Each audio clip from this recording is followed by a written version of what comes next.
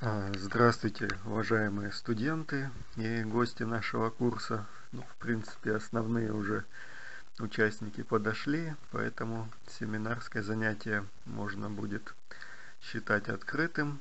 И э, сегодняшний э, экскурс в математическую, так сказать, теорию вероятностей и э, статистику будет адаптирован именно для студентов педагогических специальностей. А по моим подсчетам у нас еще напомню, синхронизируемся сегодня э, два семинара, три часа такое будет погружение в эту науку. И 27-го финальное заполнение зачеток, там где уже крайняя точка и с зачетами все э, завершим эту дисциплину. Вот. А на ближайшие же три часа э, будет некоторая тематика подниматься, э, которая граничит с так называемой вычислительной педагогикой. И, собственно, основные практические приложения теории вероятностей и математической статистики в вашей будущей профессиональной деятельности будут, ну, возможно, не в полной мере, но так приоткрыты, да, и э, вектор дальнейшего вашего развития в этом направлении будет сформирован, надеюсь. Э, в ближайшие три часа речь пойдет о э, вычислительных методах теории вероятностей и математической статистики, которые могут быть применены для выяснения причинно-следственных связей в педагогических процессах и явлениях для оптимизации процессов обучения, воспитания, развития, для нахождения объективного прогноза на будущее относительно функционирования педагогических систем и объектов, а также для получения а, окончательных выводов в случае принятия педагогических решений. В педагогике, как и в других науках, вопросы доказательности стоят на первом месте, и для этого чаще всего используются традиционные методы, основанные на статистических моделях, выясняющие и подтверждающие выдвигаемые исследователями гипотезы. Такие статистические методы достаточно хорошо изучены, а по технике же их применения а, написаны сотни достаточно хороших книг. Но при этом необходимо учитывать, что статистические методы обработки исходных данных не отвечают за их истинность и достоверность. Эти методы являются лишь инструментом, с помощью которого можно определить глубину и обоснованность интерпретации полученного экспериментального материала. Статистические методы не применяют э, педагогические методы, а они их лишь дополняют и обогащают, особенно в вопросах получения доказательных результатов. Э, необходимо также предостеречь вас от безудержного желания формализовать буквально все элементы педагогического процесса. Так, например, при анализе занятия, проведенного э, в школах, да, э, либо в вузах, развивающий эффект от его проведения прежде всего связан с внутренними психическими процессами студентов и обучающихся, которые нельзя оценивать через внешние формы занятия. И далеко не всегда э, эти процессы коррелируют с внешними педагогическими воздействиями. Также необходимо оценивать мастерство и богатый педагогический опыт, которые не могут заменить результаты даже самых совершенных математических вычислений или самых лучших моделирующих компьютерных систем. Поэтому предлагается несколько иной подход на языке теории вероятности и математической статистики при обработке педагогического эксперимента базироваться на современных идеях, которые уже давно используются, по сути, в системах искусственного интеллекта. И не только путем обработки информации, полученной экспериментальным путем, можно будет э, формировать эти модели. мы будем представлять достаточно большой спектр примеров и решенных задач педагогической практики с позиции нахождения наиболее эффективных и продуктивных педагогических решений. Также можно рассмотреть конкретные технологические шаги и пути для э, нахождения совершенно новых закономерностей педагогической реальности, которые в общем случае невозможно было бы получить без использования математических идей и компьютерных средств в системах искусственного интеллекта. А, описанная проблема измерений в рамках педагогических исследований достаточно сложна, и эта сложность состоит в первую очередь в субъективной, причинной э, многогранности педагогической деятельности – в, в том, что на объект измерения одновременно действует огромное количество причин и факторов, которые ведут себя по-разному.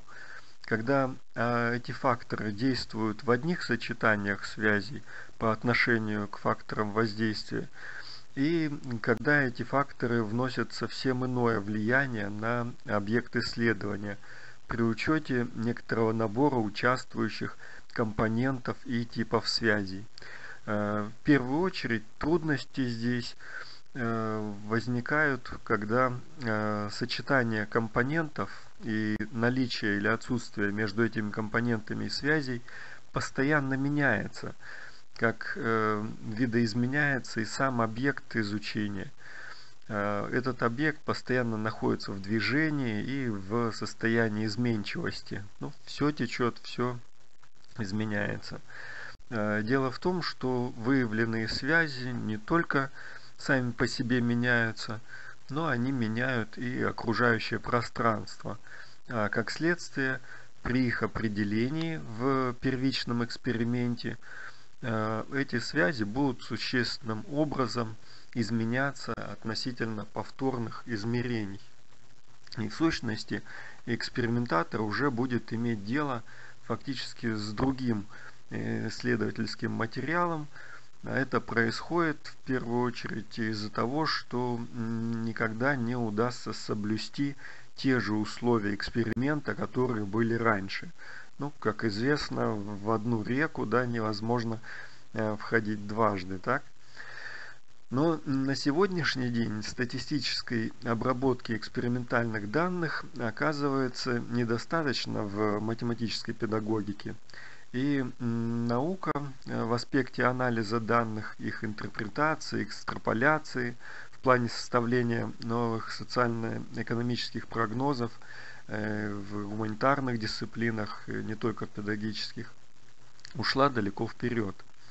Появились теоретические обоснования принятия решения на основе инновационных идей в теории статистических и стратегических игр, в теории детерминированного хаоса, в теории оптимизации, теории межотраслевого анализа, теории принятия решений с использованием методов построения различных иерархий, ну, с азами которых мы, в принципе, с вами в прошлом году знакомились, когда рассматривали теорию алгоритмов.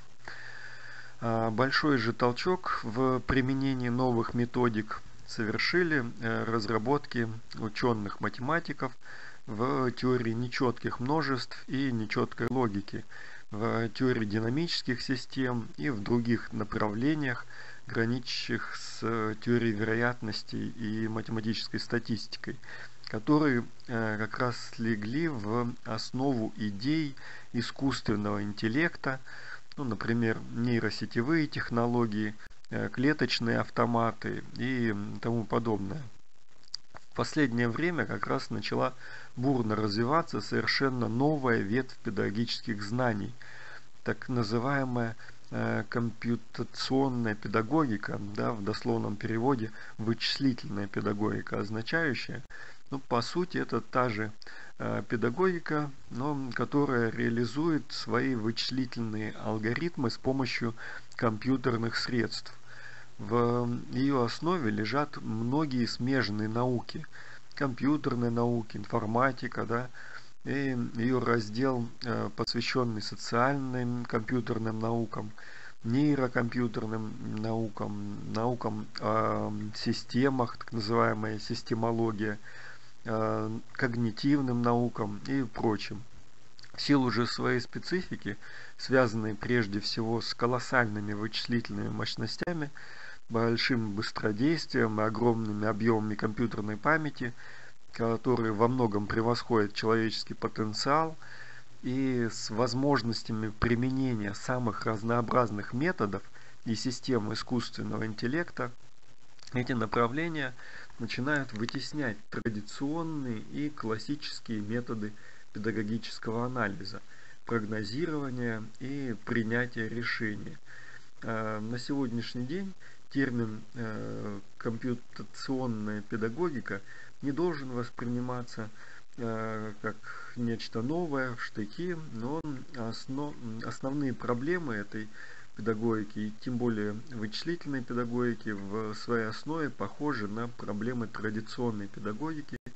Их постановка не противоречит, а напротив основывается на достижениях Э, современных научных течений и традиционной психолого-педагогической науки и образовательной практики в международном э, сообществе дидактикой называемой. Тем не менее, эти проблемы имеют свои особенности, которые отличают их от традиционных разделов классической педагогики и акцентируют внимание на специфических аспектах построения и а, особенностях педагогической деятельности в моделируемых системах. А, в условиях, где все скрупулезно взвешено, подвержено теоретическим обоснованиям и математическим доказательствам, различным расчетам, а, компьютерным моделированием, оптимизационным подкреплением с использованием систем искусственного интеллекта, с новыми инновационными идеями – которые обкатаны и испытаны в смежных областях знаний. Э, Все это э, можно будет показать и объяснить э, в ходе решения педагогических задач, задач педагогических исследований методами теории вероятности и мат-статистики. Но не будем сегодня перегружаться сложными математическими доказательствами, Э, но, но в то же время не станем упрощать смысловую вычислительную сторону э, рассматриваемых вопросов, привязывая механизмы реализации э, решений отмеченных задач к традиционным педагогическим ценностям. Ну и хотелось бы высказать такую надежду, да, что сегодняшний семинар так сказать, погружение в, э, в теорию вероятности с точки зрения педагогики даст вам возможность более глубоко разобраться в законах и закономерностях педагогической реальности. Станет э, ну, некоторой отправной точкой э, в вашем становлении педагогов как исследователей, как педагогов-новаторов – которые ищут эффективные пути доказательства выдвинутых педагогических идей через средства э, теории вероятности и математической статистики.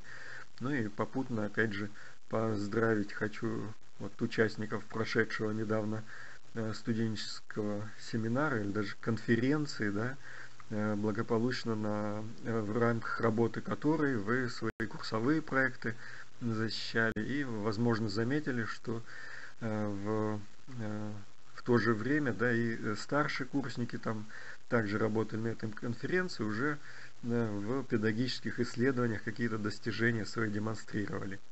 Так что молодцы, развивайтесь, да, в том же духе продолжайте. Так, но мы возвращаемся опять же к теории вероятности и статистики. Начнем с э, типологии педагогических прогнозов – ну и, собственно, о педагогическом прогнозировании на основе теоретико-вероятностных и статистических моделей э, поведем э, речь. Э, с постановки проблемы, анализа последних исследований и публикаций начнем в этом русле движения.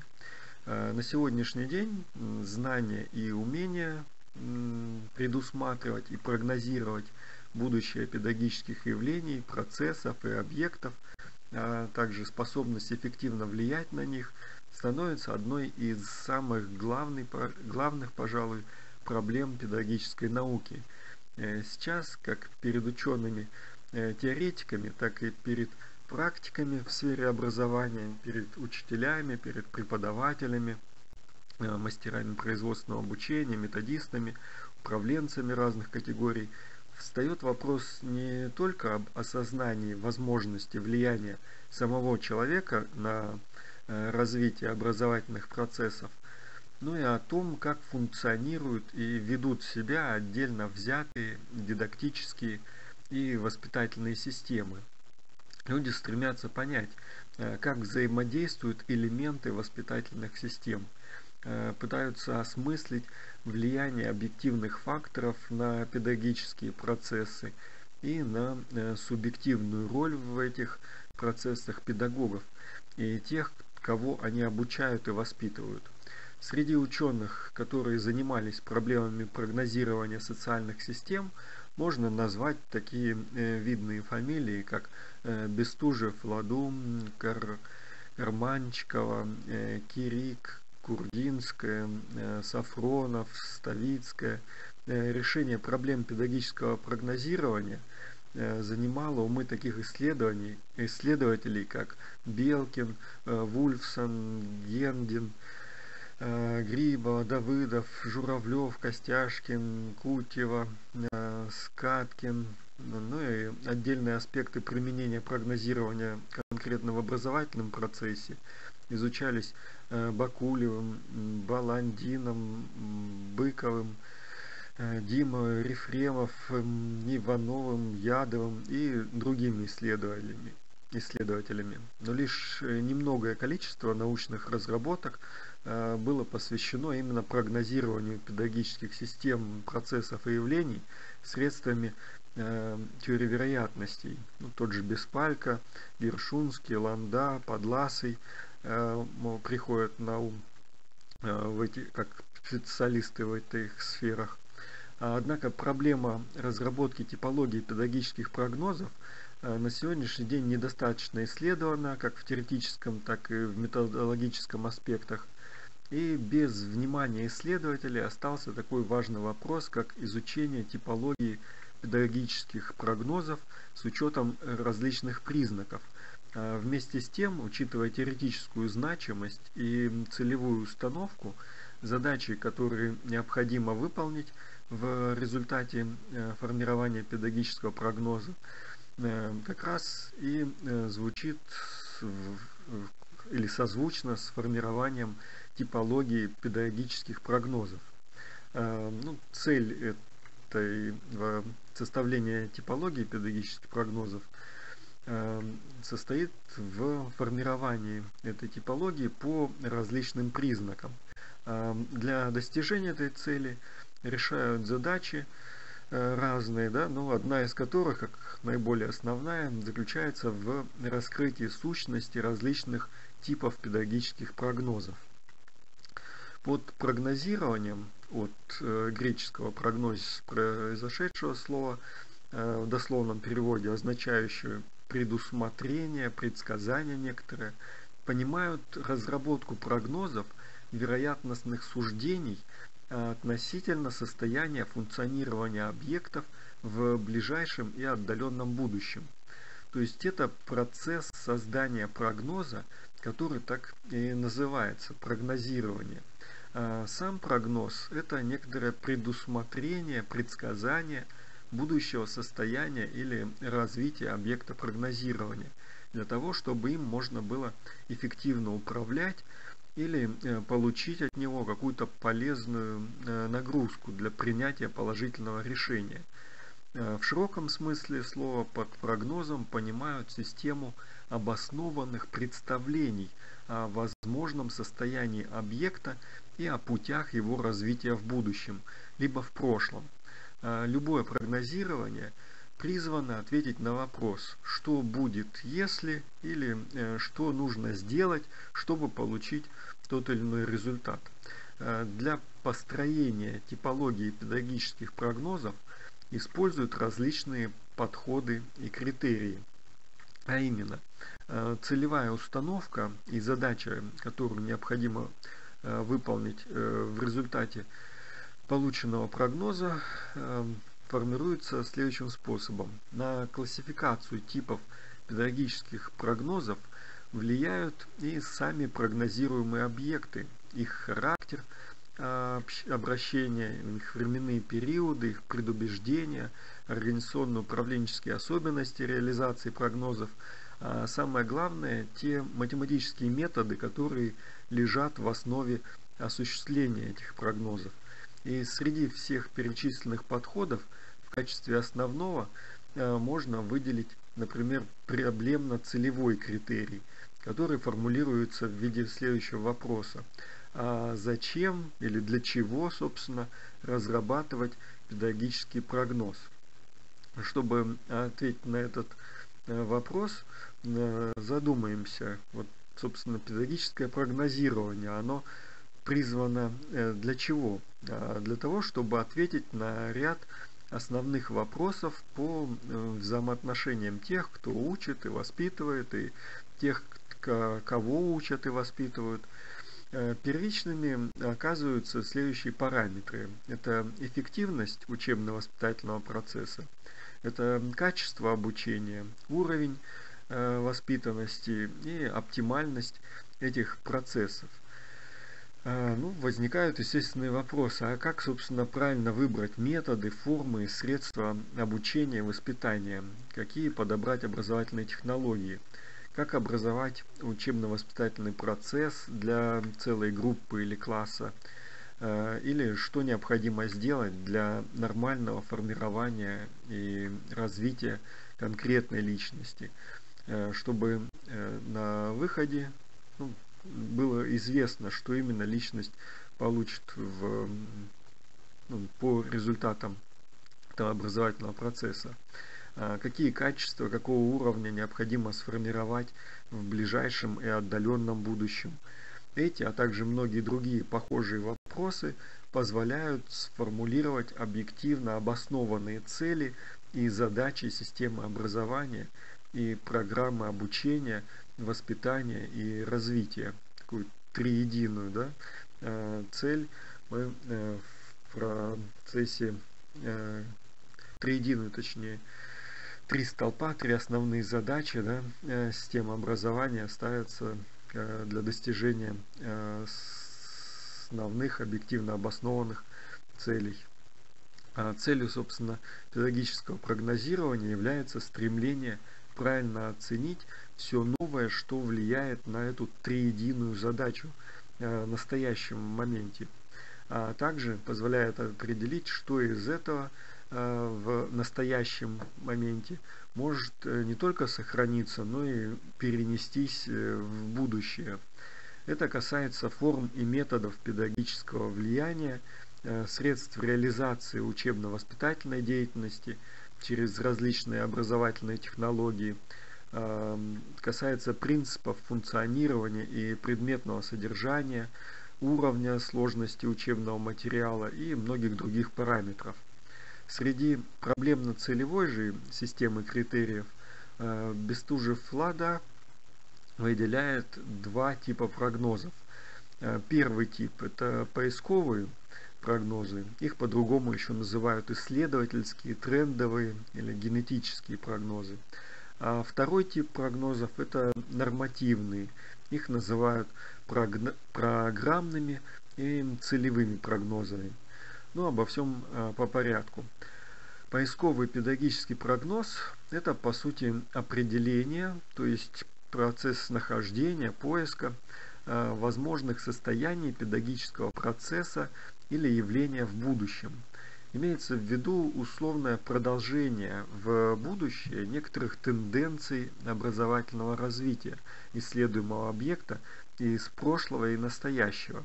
Абстрагируясь от возможных решений, можно найти э, такие математические механизмы, закономерности действий, Э, на основе которых делаются уже соответствующие изменения э, тенденций. Э, иногда вызывают в ряде эти изменения вызывают в ряде случаев и самоосуществление, самоосуществление и либо саморазрушение прогноза.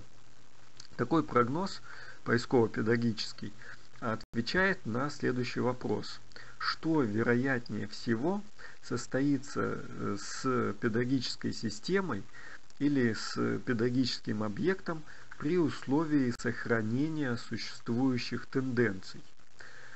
Другой тип прогнозов – это нормативный педагогический прогноз. По сути, он заключается в определении путей и сроков достижения возможных состояний педагогического процесса или явления, принятых в качестве целей. И в данном случае имеется в виду э, прогнозирование достижения желаемых педагогических целей на основе заранее разработанных и заданных норм, идеалов, стимулов и целей. Такой прогноз в сущности отвечает на вопрос, а какими же путями нужно достичь желаемого педагогического результата. Э, поисково-педагогический прогноз – строится на вероятностной платформе прогнозируемого объекта в виде некоторой оценочной функции распределения преимущества его состояния в будущем. А преимущество же может быть представлено различными способами. Ну, например, такими косвенными суждениями, как очень плохо, плохо, удовлетворительно, хорошо, очень хорошо, отлично. Да? А, возможна ситуация, когда в выборе Э, в качестве выбора альтернатив будет выступать критерий оптимальности. Ну, например, менее оптимально, оптимально достижение цели будет э, осуществлено или более оптимально. То есть соревнуются э, содействие оптимизации процесса целеполагания и организация процесса природосообразности да, нашей цели. При нормативном педагогическом прогнозировании происходит такое же, по сути, распределение вероятностей, но уже в обратном порядке. От заданного педагогического целевого состояния к тенденциям, которые наблюдаются в текущий момент времени. В качестве же эталона нормативных э, каких-то э, положений наиболее часто выступают государственный стандарт в виде учебного плана, либо образовательная педагогическая программа, либо образовательная классификационная характеристика и другие директивные документы. Подобный прогноз как бы приближается к определенным нормам, которые устанавливают э, общество через государственные стандарты. Но последние имеют цель некоторого директивного установления мероприятий, по их реализации, этих стандартов, э, в то время как педагогический прогноз это скорее стахастическое, такое вероятностное да, описание возможных альтернативных путей достижения предусматриваемых нормативами, э, ну, норм и планов. Да. В свою очередь, поисковые и нормативные педагогические прогнозы подразделяются на целевой, плановый, программный, проектный и организационный прогноз. Целевой прогноз выстраивается на основе оценочной функции, то есть такой функции, которая выявляет э, распределение преимуществ прогнозируемого педагогического объекта. Целеполагание этого целевого прогноза диктует основную цель, которую можно сформулировать, опять же, в виде э, вопроса. Какую цель нужно выбрать, наметить или предложить и тому подобное, чтобы достичь наибольшей эффективности в обучении, ну а также в воспитании, в развитии, саморазвитии и прочем. Э, или э, вопрос, какую нормативную цель необходимо выставить для воспитания, обучения, развития или саморазвития, чтобы достичь ее наименьшими человеческими усилиями. То есть фактически констатируется факт, поставленная цель достигается таким-то путем, э, либо выполнением таких-то условий. А плановый же прогноз или такой план-прогноз да, хода эксперимента, э, выполнение э, или невыполнение каких-то планов – запланированных педагогических действий э, представляет собой в сущности выработку или получение поисковой и нормативной прогнозной информации для отбора наиболее целесообразных плановых нормативов, а также задач, директив с выявлением нежелательного отрицательного, а, то есть того, что подлежит устранению, а также отбор альтернатив с тщательным выяснением прямых и отдаленных а также косвенных последствий принятия плановых решений. Этот прогноз отвечает на вопрос, каким э, и как, да, и в каком направлении нужно ориентировать планирование, чтобы э, более эффективно достичь поставленных целей. Такой плановый прогноз, да, получается, э, более эффективно, ну, в смысле с наименьшими затратами. Следующий тип прогноза упомянутый выше, это программный прогноз. Э, это программный прогноз составляется для отыскания возможных путей и условий достижения э, предвиденного желаемого состояния прогнозируемого педагогического процесса. По сути, он ответ, дает ответ на вопрос, какую же программу действий нужно предложить, чтобы конкретно достичь желаемого результата. Такой тип прогнозирования должен сформулировать гипотезу о возможных взаимовлияниях различных факторов и указать на гипотетические строки э, и на очередность достижения промежуточных целей на пути к главной дидактической или воспитательной цели. Тем самым как бы завершается отбор Э, возможностей для развития объекта исследования, который начинался в ходе планового прогнозирования. Э, следующий тип прогнозов – проектные прогнозы. Проектный прогноз для, нацелен на выявление состояния конкретных образов того или иного педагогического объекта в будущем при допущении пока еще отсутствующих условий его существования или функционирования. Этот прогноз, э, тип, этот тип прогнозов отвечает на вопрос, какой конкретно вид будет иметь объект, который прогнозируется, или какое состояние будет иметь будущий педагогический процесс либо явление. Здесь также важно выполнение соединения поисковых и нормативных разработок – Проектные прогнозы призваны оказывать содействие отбору оптимальных вариантов перспективного планирования и проектирования, на основе которых должно потом разворачиваться реальное педагогическое проектирование. А, ну и э, заключительный тип прогнозов – это организационный прогноз.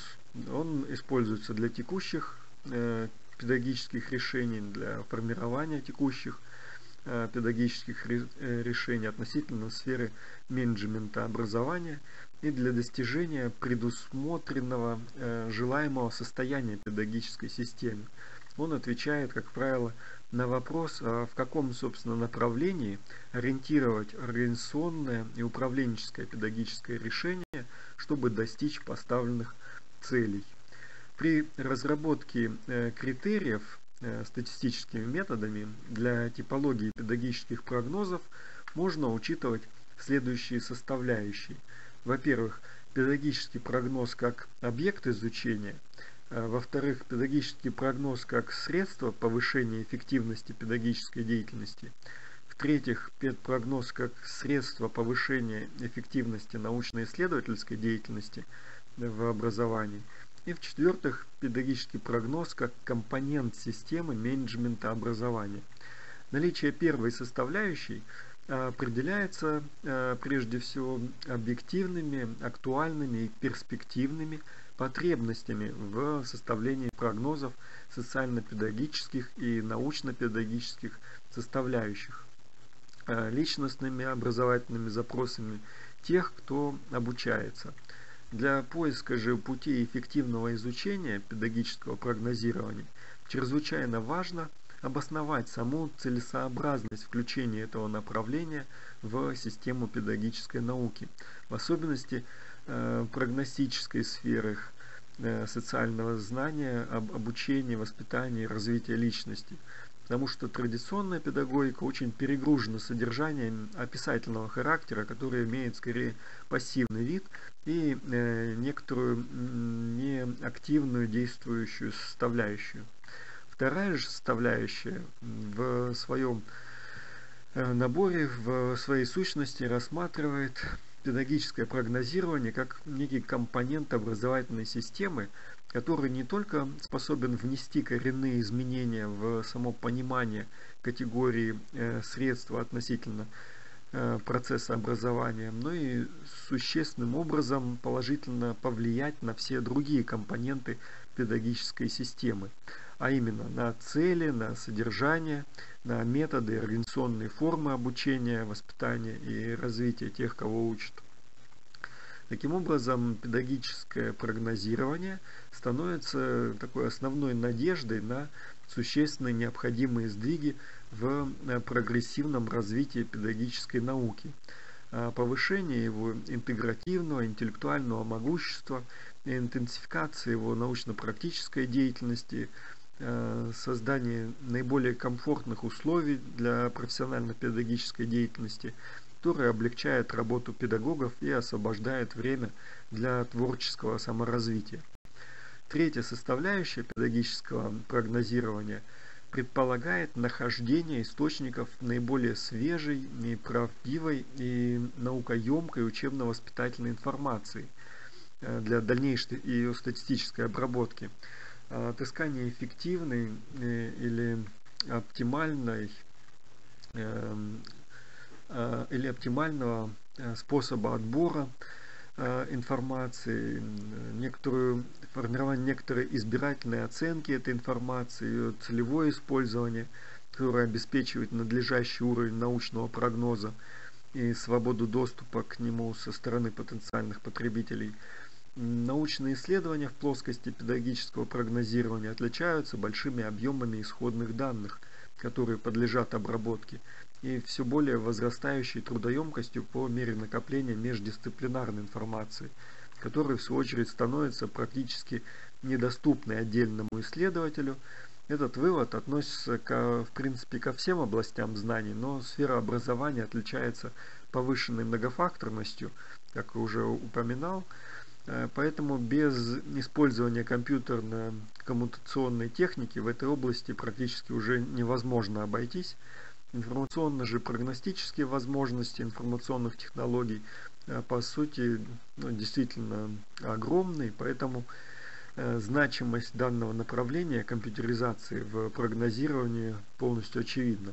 Задача же э, прогнозирования будет состоять в том, чтобы и система исследовательско-прогностических проблем, э, решаемых с использованием таких мощных математических средств, теории вероятностных была адекватной им самим в самой своей значимости, чтобы найденные педагогические прогнозы действительно брались на вооружение рядовыми педагогами-исполнителями, чтобы они не искажались, а действительно адекватно воплощались в реальную а, педагогическую практику. А, четвертая же составляющая педагогического прогнозирования связана с процессом принятия управленческих решений на всех уровнях образовательной деятельности, буквально от повседневной работы по управлению учебными аудиториями, а, конкретной аудиторией в классе или группой студентов, э, до управления образовательным заведением э, или до управления всей образовательной отраслью, областью. Э, полностью очевидно, что для принятия оптимальных управленческих решений необходимы как кратковременные, так и долгосрочные прогнозы. Э, здесь как раз на первый план и выходит учет разнообразнейшей информации э, фонового характера о тенденциях развития внешней социально-экономической и социокультурной среды, об информации учебно-воспитательного характера, окончательный же выбор пока остается, конечно же, за человеком, но не исключено, что уже скоро победят э, более убедительные аргументы в пользу того э, э, или иного прогнозного автоматического решения, которые принимаются на вычислительных моделях и реализуются в информационных технологиях, таких моделирующих прогностических системах. Эта перспектива использования результатов вычислительного прогноза не может не радовать, но с другой стороны не может и настораживать, так как даже самому могущественному компьютеру пока еще не дано оценить факторы, которые не поддаются прямой и непосредственной формализации, ну как, например, моральные приоритеты или эмоциональные интуитивные преимущества э, естественного интеллекта, э, вопросы социальной справедливости, какой-нибудь исторически сформированной тенденции, традиции, э, не говоря уже о более тонких материях типа менталитета или национальных характеров, Э, патриотизма и прочих категорий, которые органически присущи сфере образования и педагогики. Ну и эта проблема постепенно решается, э, обосновываются и разрабатываются новые э, теоретические методы, математические теории формализации морально-ценностных, национальных особенностей, эстетических аспектов, составляющих гражданскую культуру, валево-экологических компонентов воспитания как системы Э, в виде теории нечеткой э, расплывчатой логики, теории фракталов, теории квантовых социальных переходов и э, тому подобных. Выше, рас, выше расписанные да, составляющие типологии педагогических прогнозов переключаются с четырьмя возможными результатами педагогического проектирования. По Э, мнению Монахова, э, он э, указывает, что педагогическое прогнозирование может оперировать объекты, объектами целостных систем, а именно, во-первых, педагогической системой может оперировать это педагогическое прогнозирование, во-вторых, системой управления образования, такой системой менеджмента своеобразной, адаптированной к образовательным процессам, в-третьих, системой методического обеспечения. И четвертой, системой образовательного процесса. Кроме перечисленных критериев типологии педагогических прогнозов выделяют еще и э, другие, ну, вскользь для полноты изложения и о них э, упомяну. Э, ну, например, по признаку ручного или машинного вычисления. Тут будет иметься в виду, что э, расчет показателей прогностической модели можно выполнять как аналитическим способом с помощью ручных математических вычислений, так и с помощью компьютерных вычислений, э, с помощью э, такой автоматизированной системы решать педагогические задачи. Э, по признаку же получения базисных основ для анализа все педагогические прогнозы можно разделять на четыре группы. Первая группа – это прогнозы, которые основаны на какой-нибудь классической теории обучения или воспитания. Вторая группа – это прогнозы, которые основаны на предшествующем эмпирическом анализе собранных педагогических данных. Э, вследствие проведения некоторого педагогического исследования или эксперимента, но без готовых связей с какой-нибудь теорией. Третья группа – это педагогические прогнозы, которые основываются на методах прогнозирования, заимствованных из других сфер знания, например, социологии, экологии, экономики, с энергетики и прочих. Четвертая группа – это педагогические прогнозы, которые э, сами получаются в э, компьютерных моделирующих системах. То есть они выявляются на основе алгоритмов искусственного интеллекта, э, ну, средствами нейронных сетей, тех же теории нечеткой логики, нечетких множеств и прочим.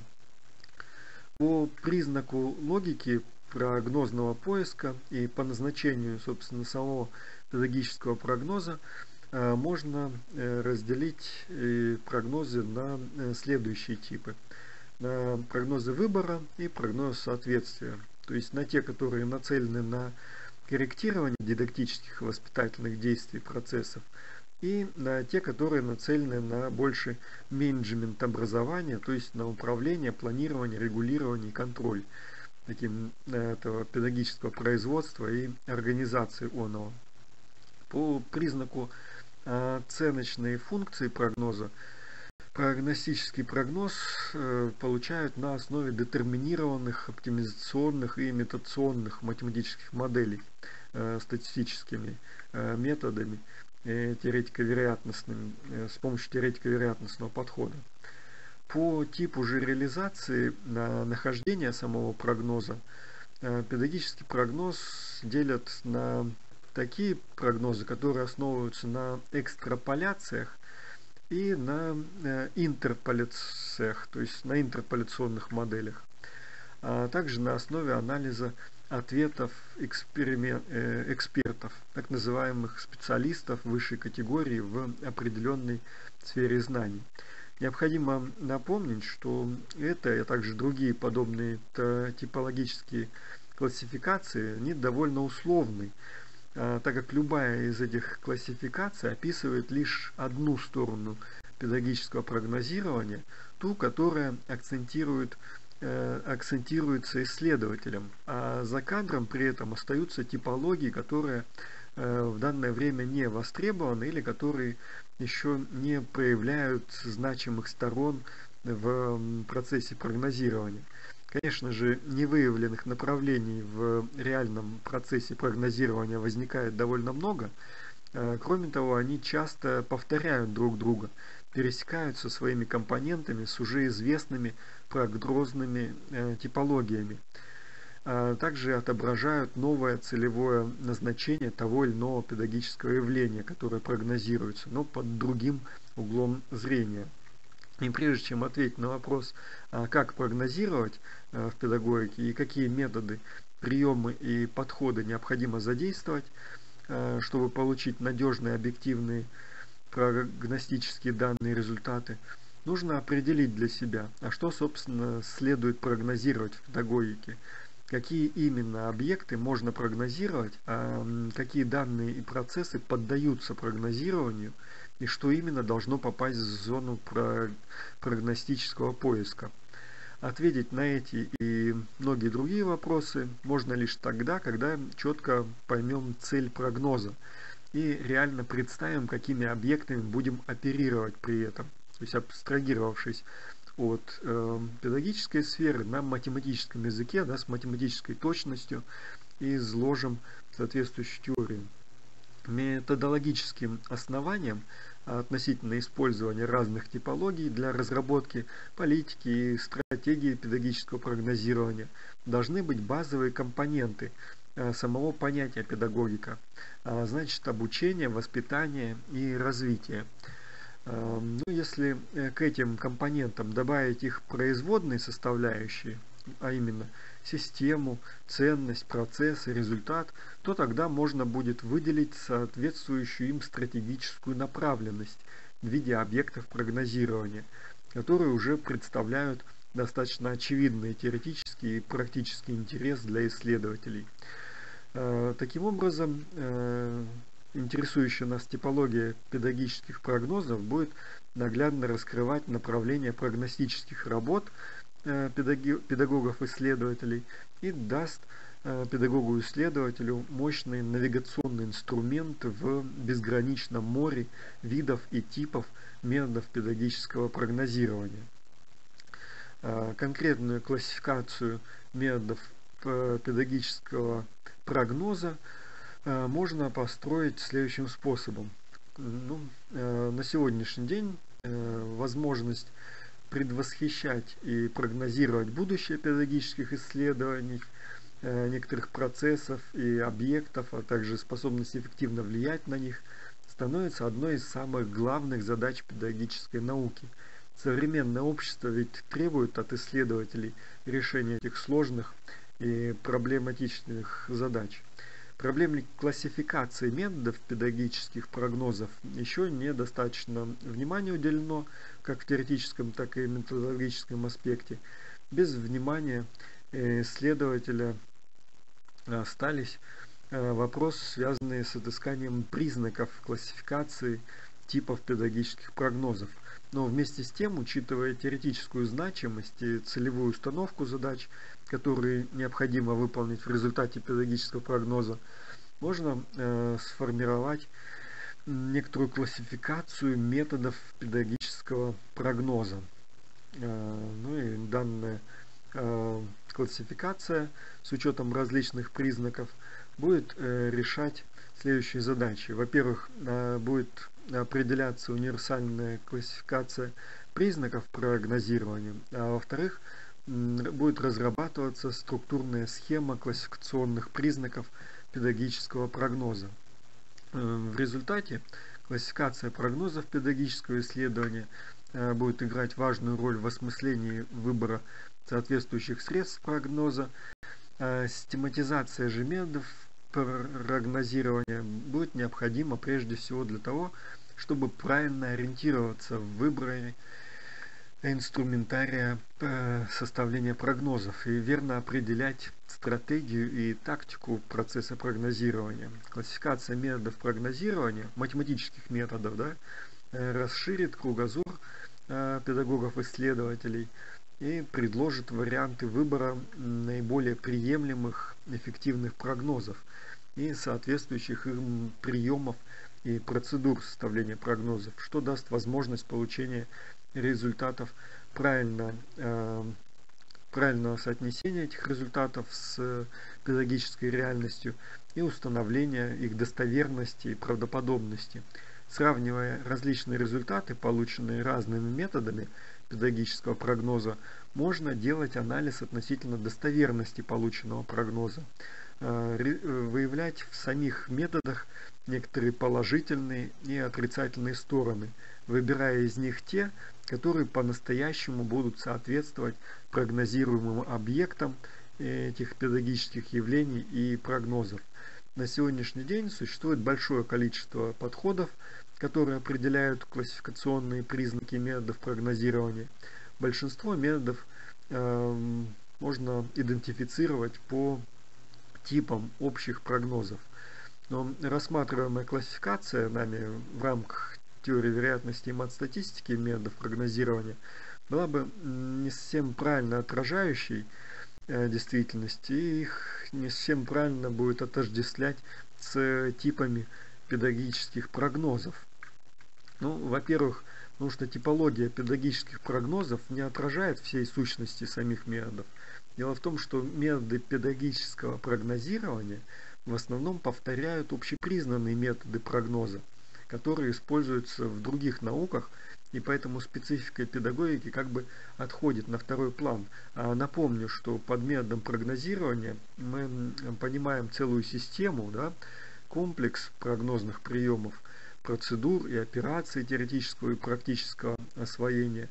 То есть таких шагов, которые направлены не столько на разработку э, некоторой технологической составляющей прогноза, как на удовлетворение реального поведения прогнозируемого педагогического явления или процесса. Во-вторых же, классификация педагогических прогнозов по различным признакам отражает лишь внешнюю, такую поверхностную, да, глобальную сторону процесса прогнозирования, и в ней не учитывается функциональная и процедурная сторона э, прогноза, не отражается комплексная система последовательности действий исследователя э, в нахождении будущих реалий объекта. И поэтому наряду с классификацией педагогических прогнозов приходится использовать более узкую типологию математических методов педагогического прогнозирования. Главным признаком, э, лежащим в основе таких классификационных подходов, является тот факт, который определяется целями и задачами педагогического прогнозирования. Среди универсальных классификационных э, признаков методов педагогического прогноза можно выделить следующие.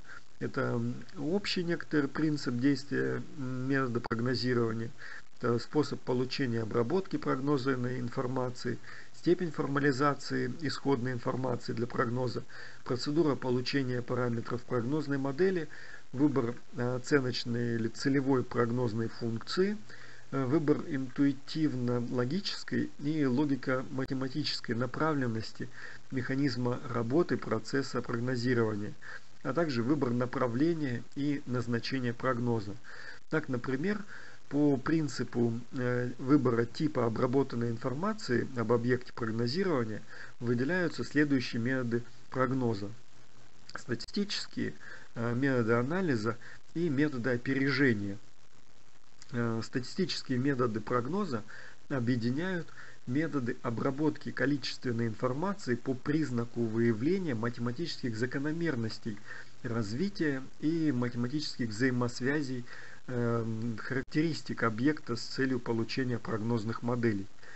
Метод же аналогий направлен на то, чтобы обнаружить сходство в закономерностях развития процессов и на их основе построить новые прогнозы.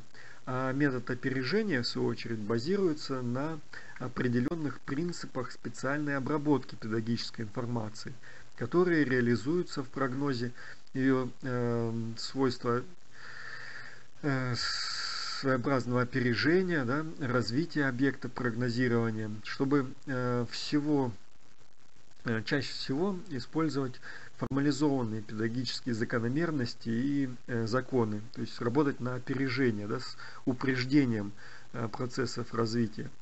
Э, в свою очередь, такие опережающие методы можно разделять на исследовательские приемы динамики развития объектов и исследовательские приемы э, оценки уровня развития объектов, то есть в динамике рассматривать, в, в, в процессе изменения времени и в статике, то есть в таком в срезе, да, анализировать получаемые данные. Наибольшее распределение имеет э, группа методов прогнозирования по степени формализации. Э, соответствие э, в этой группе все методы можно условно разделить на интуитивные методы, такие методы, что эксперты формируют, экспертные оценки э, формируются, или их еще называют не математическими методами. А, э, в другой группе да, будут формализованы или чисто математические э, методы. При всем разнообразии научных методов прогнозирования, а, напомню, в любой науке ровно столько истины, сколько в ней математики, но по мнению Доброва, э, все научные методы можно свести как раз к трем основным методам – это методы экспертной оценки, методы экстраполяции и методы моделирования. Вот, то есть получается три основные класса э, методов. Э, представим и другие более детализованные подходы в классификации методов педагогического прогноза. Например, по признаку используемой для анализа информации можно выделять методы прогноза на основе данных предшествующих периодов – а также методы прогноза, которые находят или выявляют закономерности в результате реализации самого процесса прогнозирования. А последние, в свою очередь, подразделяются на методы имитационного прогноза и методы экспертных оценок.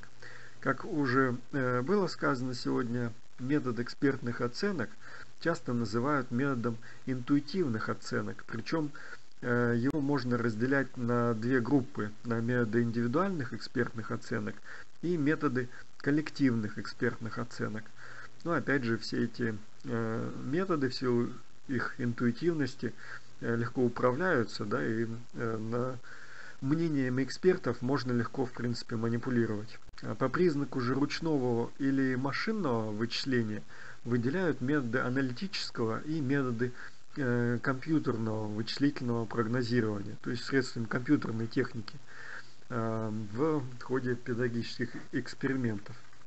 Важным достоинством аналитических методов является то, что на их основе можно получать фундаментальные результаты, то есть такие основательные, да, уже э, инвариантные значимые зависимости, неизменные, которые будут распространяться как на различные случаи использования ручной, безмашинной э, моделирующей системы, так и на случаи машинной, компьютерной системы э, разного класса точности. А основным же недостатком аналитических методов, к сожалению, является то, что их применение к сложным педагогическим системам требует существенной идеализации а, описания самой системы. Это связано в первую очередь с увеличением объемов формализации вычислений, ее с, с эм, формализацией ее составных частей, даже при несущественном усложнении ее описания. Такая идеализация может привести к неполной адекватности получаемых результатов прогноза, а также к тому, что эти результаты могут использоваться лишь в первом приближении как говорят специалисты прогностики, в качестве прикидки будущего прогноза. А методы компьютерного педагогического прогнозирования имеют важную отличительную особенность, э, заключающуюся в том, что компьютерные системы, которые используют эти математические методы, э, статистические, теоретико-вероятностные, могут в принципе самообучаться, то есть выявлять удачные прогностические решения, запоминать их и самостоятельно генерировать другие варианты решения новых проблем. А от пользователя же будет необходимо лишь правильно сформулировать запросы на естественном языке этой э, компьютерной системе. И такие инструменты раскрывают новые перспективы педагогической реальности, действительно на новом научном и прогрессивном уровне действующие. Иногда те же самые классификационные схемы рассматриваются под разными углами зрения, с разных точек зрения. Да? Тогда их топологии меняют свои названия, соответственно, той идеи, которая лежит в основе способа реализации. Ну, например, если рассматривать методы прогнозирования с позиции используемой прогнозной информации, то тогда их разделить можно будет на методы экстраполяции и на методы экспертной оценки. А если рассматривать методы, которые основаны на данных предшествующих периодов, то их очень часто структурируют по признаку способа экстраполяции данных, которые обрабатываются. А именно, а, например, такой математический метод, как метод скользящего среднего. Да? А они, в свою очередь, делятся на методы двойного и взвешенного среднего, этого скользящего среднего на методы линейной регрессии, там простой или множественной линейной регрессии, на методы экспоненциального сглаживания, методы, основанные на процессах Бокса, Джейнкинса и прочие математические методы математического моделирования. Да? Всю эту структурную схему можно было бы отнести к математическим методам прогноза, но из этого последует, что общая типология методов прогнозирования может иметь место некоторого общего действия, пересечения разных методов, э, взаимодополнения и взаимообусловленности, что еще раз подтверждает, что сам прогноз имеет единую целостность. Лишь человек искусственно выделяет его отдельные стороны, э, некоторые способы нахождения, то есть методы обосабливает их в какие-то сообщества, э, объединения и группы, классифицирует относительно удобных для конкретной задачи наборов признаков и подходов. С другой же стороны, методы прогноза, которые используют э, математический аппарат на основе данных предшествующих периодов наблюдения, имеют типологию, которая уже опробирована для составления прогнозов той же экономической или финансовой сферах, а также в других областях человеческой деятельности. Кроме бизнес-сферы и сферы менеджмента, эти методы прогнозирования очень хорошо себя зарекомендовали в технических, биологических, социальных и других науках. Они э, в областях деятельности э, человеческой все больше затребованы, э, ну и в педагогике не исключение. И, конечно же, более детально разработаны и исследованы. Для их исследования и тестирования привлекались большие финансовые, человеческие и научно-технические ресурсы протяжении всего прошлого столетия. Э, среди этих прогнозов можно выделить такие э, методы. Да? Например, методы прогнозирования дидактических решений на основе условий оптимальности или методы прогнозирования педрешений с использованием транспортной модели. Или, например, методы прогнозирования педпроцессов на основе теории межотраслевого анализа или методы прогнозирования дидактических результатов на основе элементов теории игр и многие другое. Интересным и перспективным в этом случае является метод анализа иерархии, который э, разрабатывался американским исследователем Саатти. Э, все приведенные э, классификационные схемы для методов педагогического прогноза необходимо опять же считать очень условными, так как тяжело провести четкую границу между указаниями групп и типами методов. необходимо учитывать, что прогнозирование таких сложных процессов и явлений, как дидактических воспитательных э, процессов развития личности, э, осуществляется путем применения совокупности прогностических методов, функционирование любого из которых существенным образом зависит от целей и специфических особенностей педагогических объектов, их компонентной насыщенности, условий обследования и границ пригодности самих методов. Таким образом, э, классификация педагогических прогнозов по разным признакам прозрачно показывает, в каком именно направлении выполняются прогнозные исследования, что э, при необходимости следует изменить, э, чтобы откорректировать прогноз, и как пробовать его другими способами – Э, проверить его на достоверность и целесообразность. Представленная классификация методов является своеобразным базисом, да, таким фундаментом для э, выявления особенностей и трудностей педагогического прогнозирования математическими методами, построения конкретных прогностических э, моделей и дает возможность педагогу-исследователю разобраться с эм, некоторыми технологическими этапами самого процесса прогнозирования. Представленная э, тема будет таким первым шагом в системе использования педагогического прогноза компьютерными средствами. Она станет надежной основой для дальнейших разработок э, системы искусственного интеллекта в обучении. А, ну, теперь сконцентрируемся на э, анализе множественного влияния факторов и причин на результаты педагогического прогнозирования. А обычно принято считать, что самым непосредственным и плодотворным фактором будущего является сфера образования.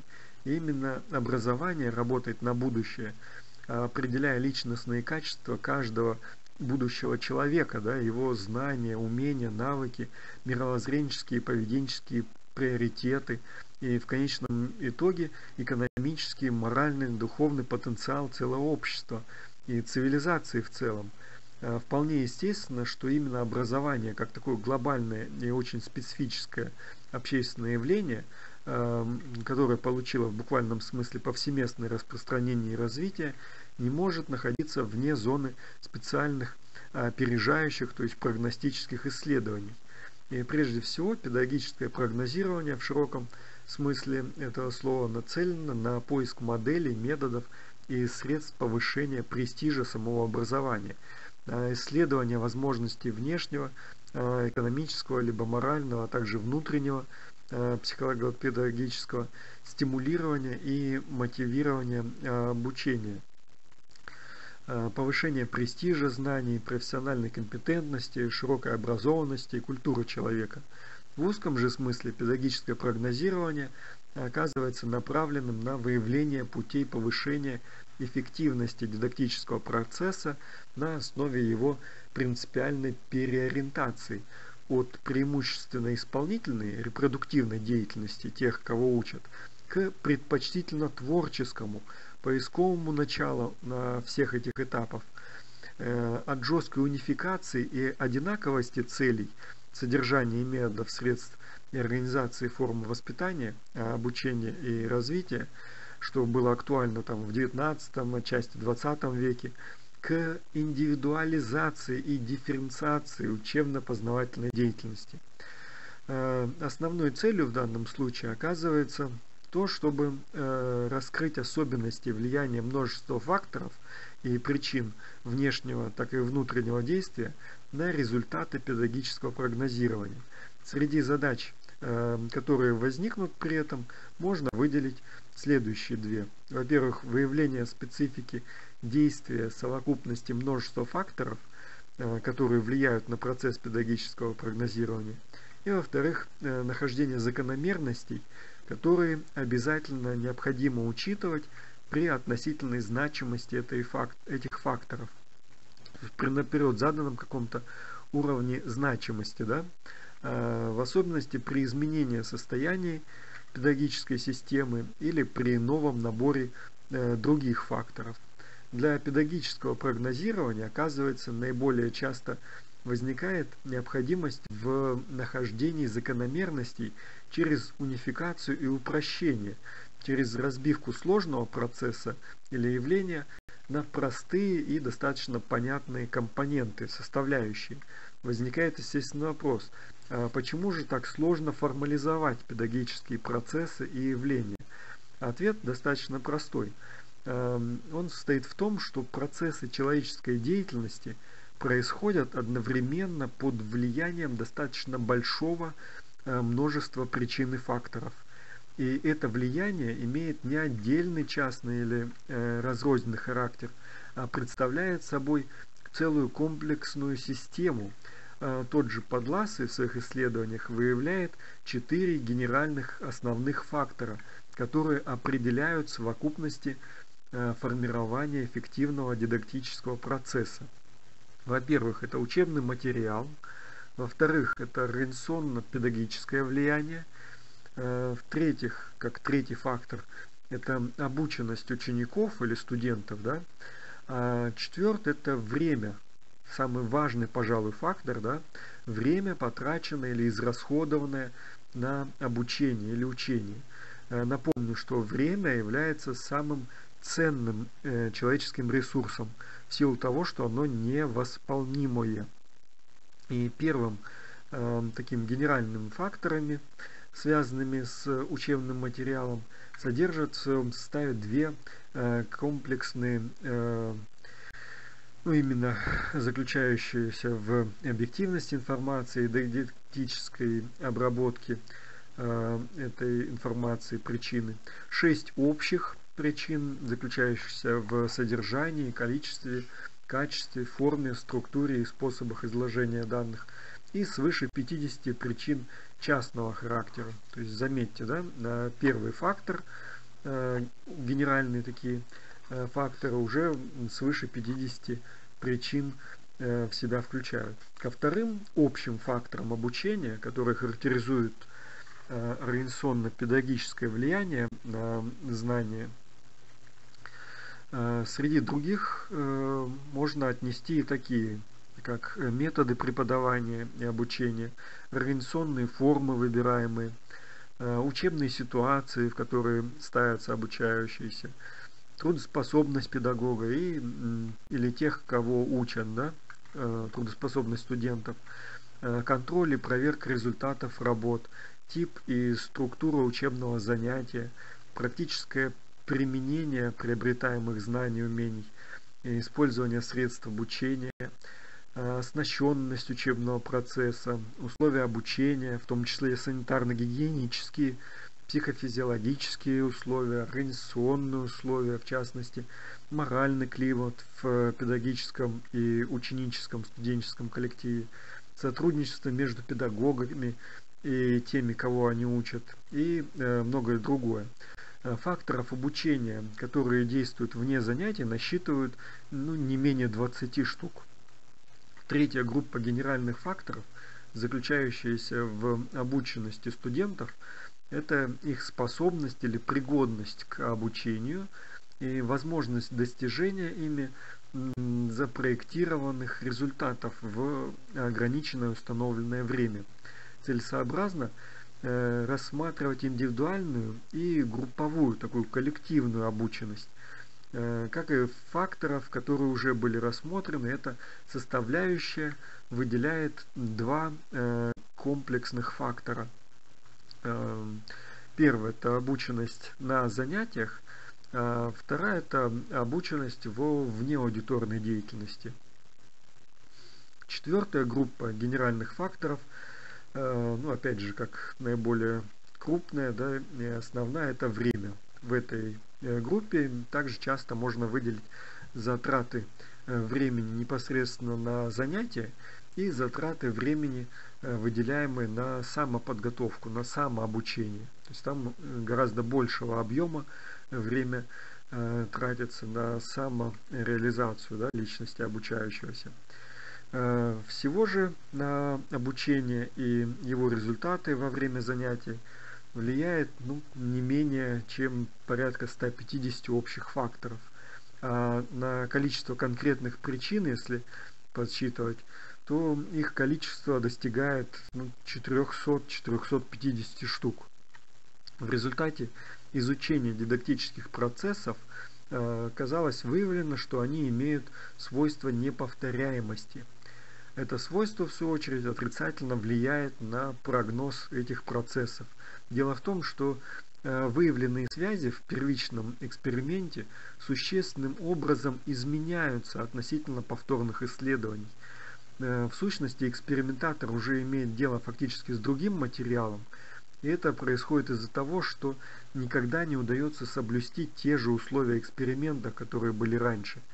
Изменяется целый комплекс э, влияния большого множества перечисленных выше факторов и причин. Э, в результате меняется не только субъект изучения, а и практически вся окружающая объективная реальность. Поэтому в педагогике-то чистых экспериментов не бывает, э, как бы тщательно они не были подготовлены и проведены. Все педагогические явления связаны между собой последовательным изменением одних событий другими. Это как раз и составляет сущность учебно-воспитательных процессов. Педагогический процесс представляет собой нечто единое целое – и все явления в нем оказываются взаимосвязанными, как некоторые узлы в сетке.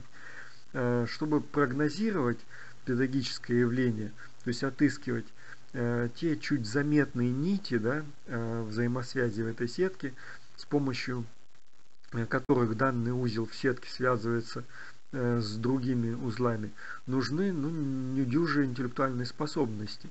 Если два и более педагогических явления – постоянно возникают вместе или возникают э, постоянно э, вытек, как нечто вытекающее или проявляющее э, из другого, тогда необходимо отыскивать эту связь, которая их объединяет. И процесс распознавания и определения природы и свойств этих связей, заключающийся в установлении соотношений между ними, и есть процесс педагогического прогнозирования. Для определения общего пространства в педагогической системе проводят ранжирование факторов и причин, которые э, принимают участие в этом процессе по их относительной значимости, некоторой важности, да, ну, доли вероятности их появления. То есть устанавливают своеобразный вес того или иного фактора. Например, э, в групповых образовательных системах на первом месте обнаруживается фактор сотрудничества, сотворчества и кооперации, то есть своеобразное взаимопонимание и взаимовыручка.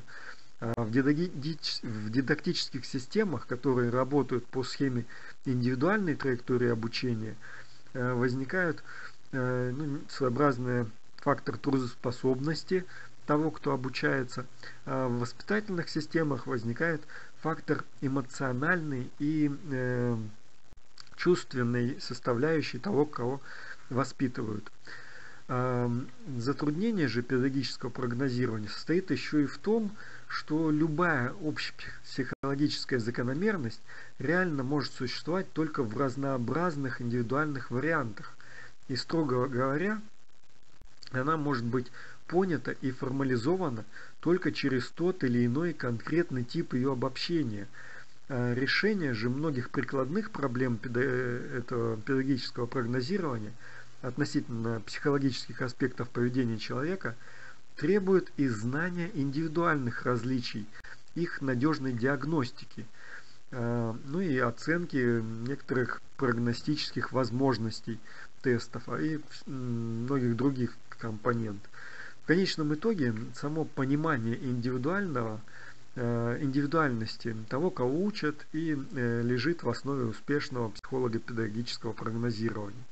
В то же время в конкретных случаях для отдельной личности при разных комбинациях значений педагогических факторов их э, относительное влияние на функцию отклика может сильно меняться – и эту функцию реагирования иногда называют целевой функцией. При этом обычно выделяют два взаимозависимых вопроса об этой функции.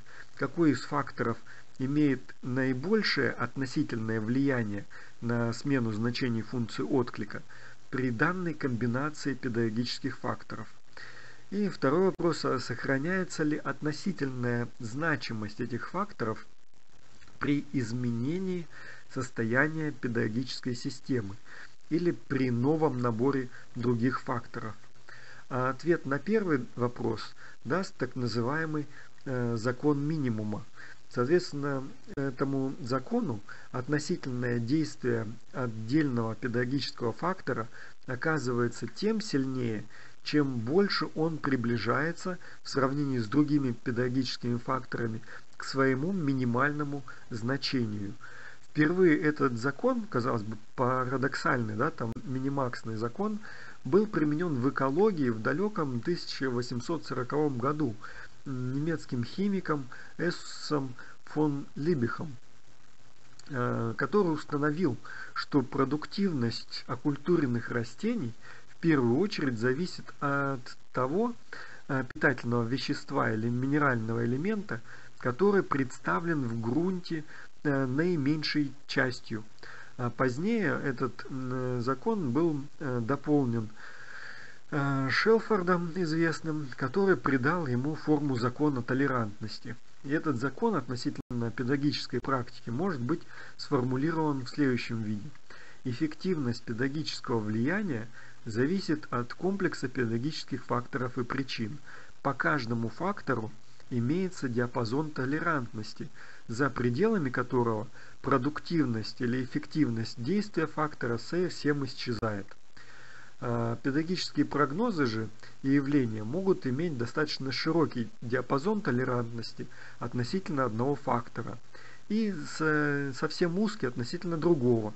Например, для эффективности обучения на занятии фактор времени, отведенного на контроль изученного, имеет намного больший предел, чем фактор умения учиться.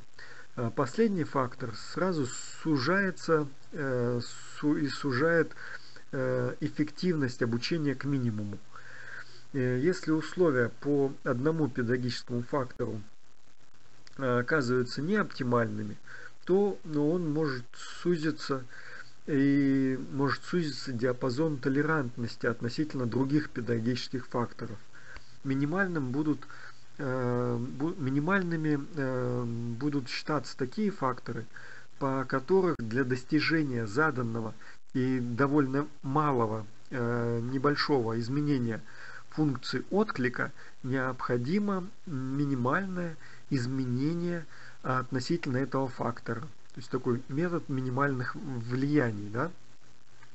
Для наглядности этого закона фон Либих использовал модель бабочки – со временем э, она получила название бабочка Либиха. Точно так же, как объем бочки, э, ну, в нашем случае объем обученности или воспитанности, изготовленный из разных по высоте дощечек, оказывается ограниченным самой короткой дощечкой, так и э, минимально возможный результат будет ограничен срезом наибольшей Э, дощечки, но фактически получаться и зависеть от среза или высоты самой короткой дощечки. Ну или еще модель, э, как там, узкого бутылочного горлышка, да, э, ну или еще как модель надежности системы, определяемой эм, ну, некоторой ненадежностью самого ненадежного узла этой системы будет визуализироваться эта модель. Э, бочка Либиха, как наглядный пример действия минимальных факторов на весь объем педагогической продуктивности или эффективности, кажется, что трудоспособность класса как раз предопределяет и продуктивность класса, и периодичность контроля э, будет зависеть от этих от уровня трудоспособности класса. Понятно, что продуктивность зависит от высоты наименьшего этого минимального фактора, и чтобы ее повысить, нужно усиливать постепенно, наращивать именно этот минимальный фактор, фактор трудоспособности класса. Да? А, для каждой личности этот минимальный фактор в принципе свой, У кого-то это объем памяти краткосрочный или долгосрочный, у кого-то это может быть внимательность, у кого-то трудоспособность. А если же рассматривать этот закон минимума для всего класса в целом или для целой студенческой группы, то здесь на первый план выйдут другие факторы, которые лимитируют э, и ограничивают общую трудоспособность. Например, трудоспособность э, класса или группы будет лимитироваться периодичностью контроля, э, технологиями и методами обучения и другими факторами. Э, описанный закон минимального фактора позволяет не только объяснить причины педагогических процессов, но и уверенно спрогнозировать развитие педагогических процессов и э, их результатов в будущем. Необходимо э, указывать, что реальная педагогическая действительность оказывается намного разнообразнее и сложнее, чем представленный механизм влияния различных факторов и причин. Дело в том, что очень часто педагогические факторы действуют вместе, группами по 2-3 э, в такой связке, да, э, но э, их влияние совместное на другие факторы обуславливается. Или если некоторый недостаточный уровень одних факторов или причин будет выравниваться, повышаться или понижаться за счет других действий за счет других факторов. Например, недостаточный уровень общей обученности ученика или студента может э, быть легко компенсирован высоким уровнем его усидчивости и целеустремленности в достижении поставленной цели. А сейчас же с расширением сферы применения математических методов и с развитием теории факторного анализа, а также с применением компьютерной техники на основе информационных технологий – оказалось возможным учитывать многофакторные педагогические зависимости очень сложного типа. Ну, например, э, тот же закон общего действия, если вспомнить, который аналогичен э, э, одноименному закону в экологии, установлен Митчерлихом и Бауле еще в 1909, в 1918 годах, то есть в начале прошлого столетия, он выражает связь при котором величина педагогического влияния э, кажется зависящей не только от какого-нибудь одного э, или даже пусть минимального фактора, а она окажется зависящей от всей совокупности педагогических факторов одновременно. И анализ множества факторов, которые влияют на результаты педагогического прогнозирования и условия их реализации, позволяет делать вполне определенные выводы. Во-первых, существуют факторы, которые в основном не влияют на динамику педагогических систем или на поведение объекта прогнозирования, но э, все же иногда они оказываются э, важными и значимыми, некоторую статистическую значимость высокую имеют. А, во-вторых, для каждой фазы развития педагогических систем и динамики проявления педагогических явлений определяющими оказываются э, свои собственные причины и факторы, которые имеют достаточно ограниченный срок действия и которые находятся в рамках влияния конкретных обстоятельств.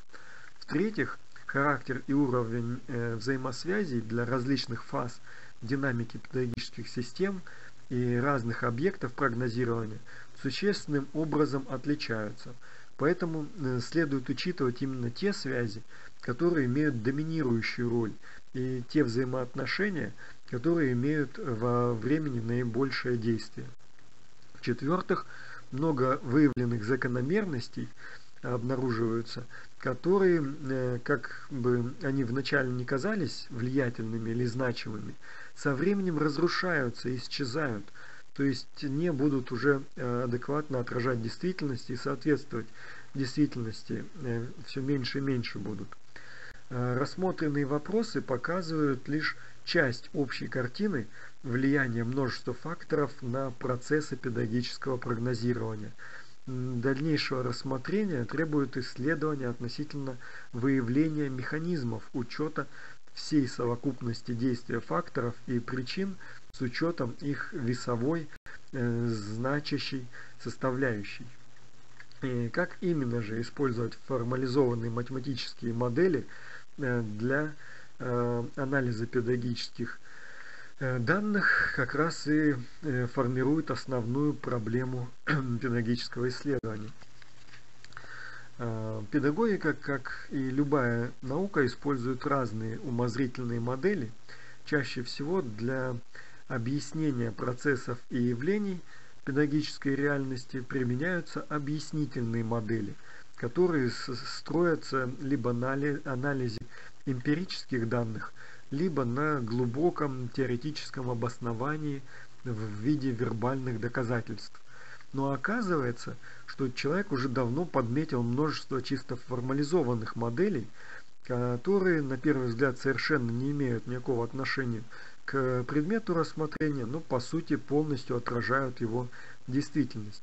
В качестве примера, доказывающего эту мысль, можно вспомнить известную со школьной скамьи формулу древнегреческого математика Герона, которая позволяет, казалось бы, по формальным признакам, длинам сторон и полупериметру, любого треугольника, находить его площадь.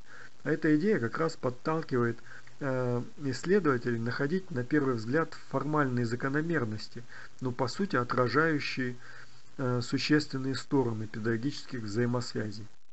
Направления, связанные с изучением формализованных математических, статистических, теоретико-вероятностных моделей на, э, для анализа дидактических данных – имеет, естественно, большие перспективы применения, особенно в педагогическом эксперименте. А сама проблема использования формализованных методов все чаще э, оказывается проявляет недостаточность своего исследования, как в теоретическом, так и в практическом аспектах, и без внимания исследователей оказываются такие э, важные вопросы, как э, выбор подходящих математических моделей – обоснованность их на э, применение именно для анализа педагогических данных и э, методологических основ их реализации в практике педагогической деятельности.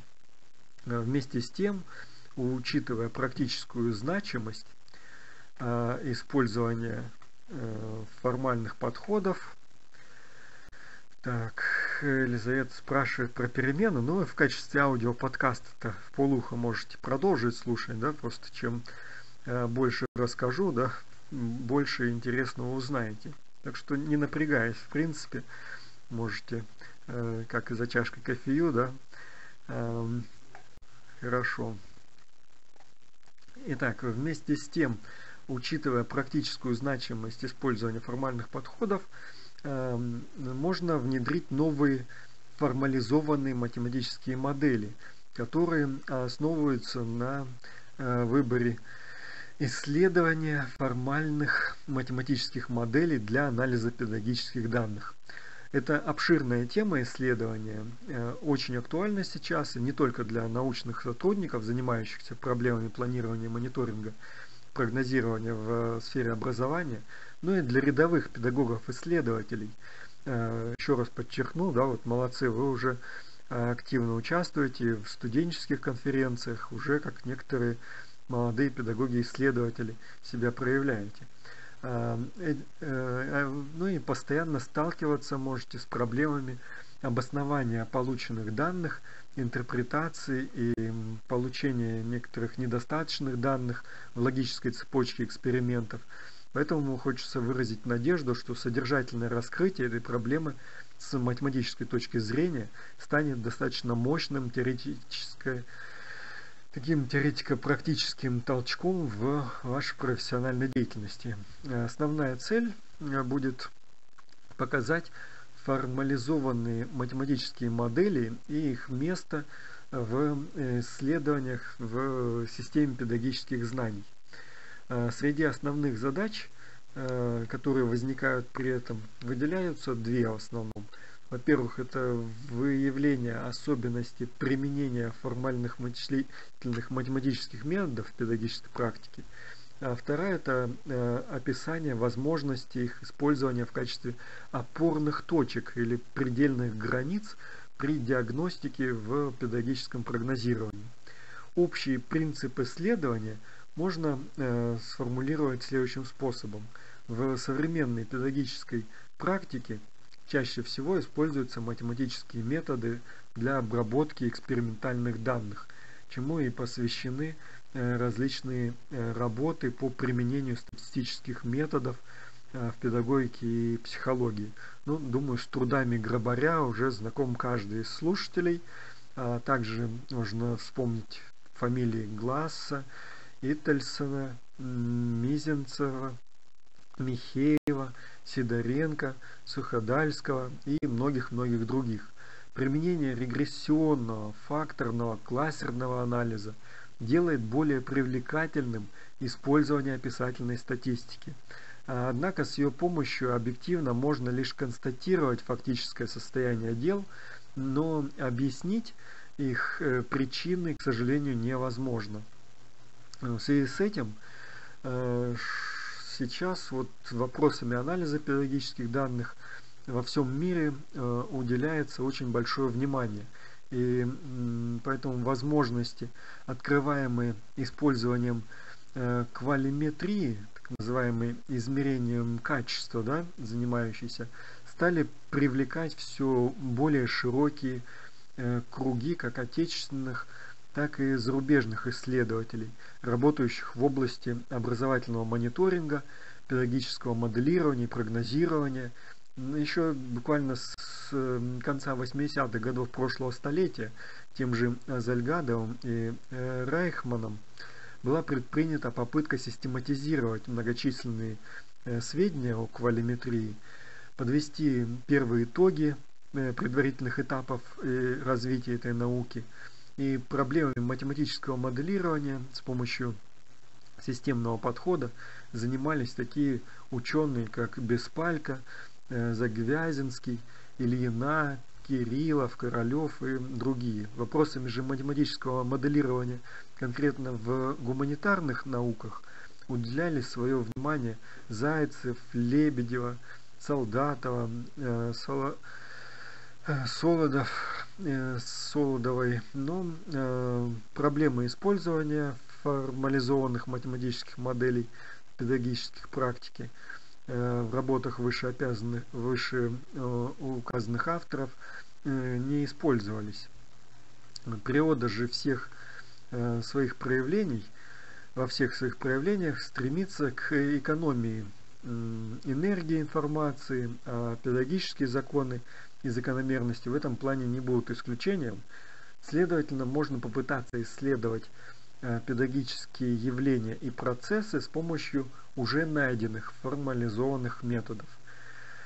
Э, возможно, некоторые из этих методов станут уже готовыми моделями, а поскольку они уже достаточно изучены, то э, разумен перенос их на педагогическую действительность.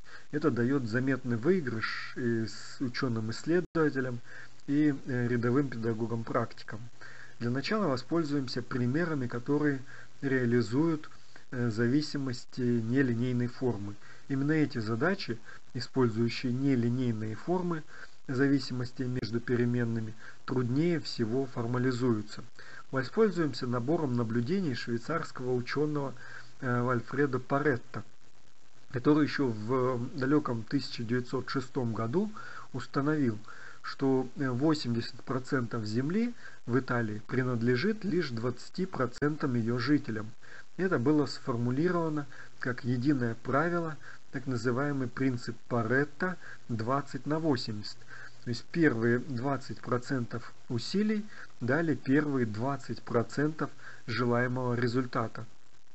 В контексте педагогической тематики этот принцип можно сформулировать так. Э, достаточно усвоить или определить 20% необходимых базовых понятий э, темы занятия, чтобы осмысленно разобраться и понять э, с 80% всего изучаемого материала. Эта возможная закономерность сегодня в педагогике формулируется по-разному – Например, 80% из предложенного учебного материала на занятии полностью усваивается лишь 20% учащихся студентов. А, или так, 80% функциональности преподавательской деятельности приходится на 20% выполненной им учебной работы. Или еще 80% трудозатрат студентов в конечном счете статистически будут реализованы в будущей профессиональной деятельности не более чем на 20%. А, ну и, наконец, 20% учащихся студентов используют 80% знаний определенной направленности, как пример э, знаний учебного предмета или курса.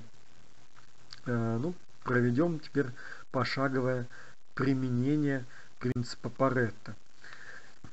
Так, если на первом шаге прилагая 20% усилий, можно будет получить 80% результата, то на втором шаге, применяя 20% от оставшихся 80% усилий, можно будет достичь 80% от оставшихся на первом шаге 20% результатов, то есть лишь 16%. А это означает, что первые два шага Э, мы э, сможем, применив 20 плюс 16, то есть 36% усилий, и получим уже 96% от результата. Очевидно, что на n шаге, применяя э, в суммарном объеме единица минус 0,8 n процентов усилий, мы сможем получать единица минус 0,2 n процентов от результата. Следовательно, на каждом последующем шаге, применяя еще и еще 20% от оставшихся все меньшего числа процентов, э, можно будет тратить в сумме не менее половины усилий и получать не более 90% э, результатов.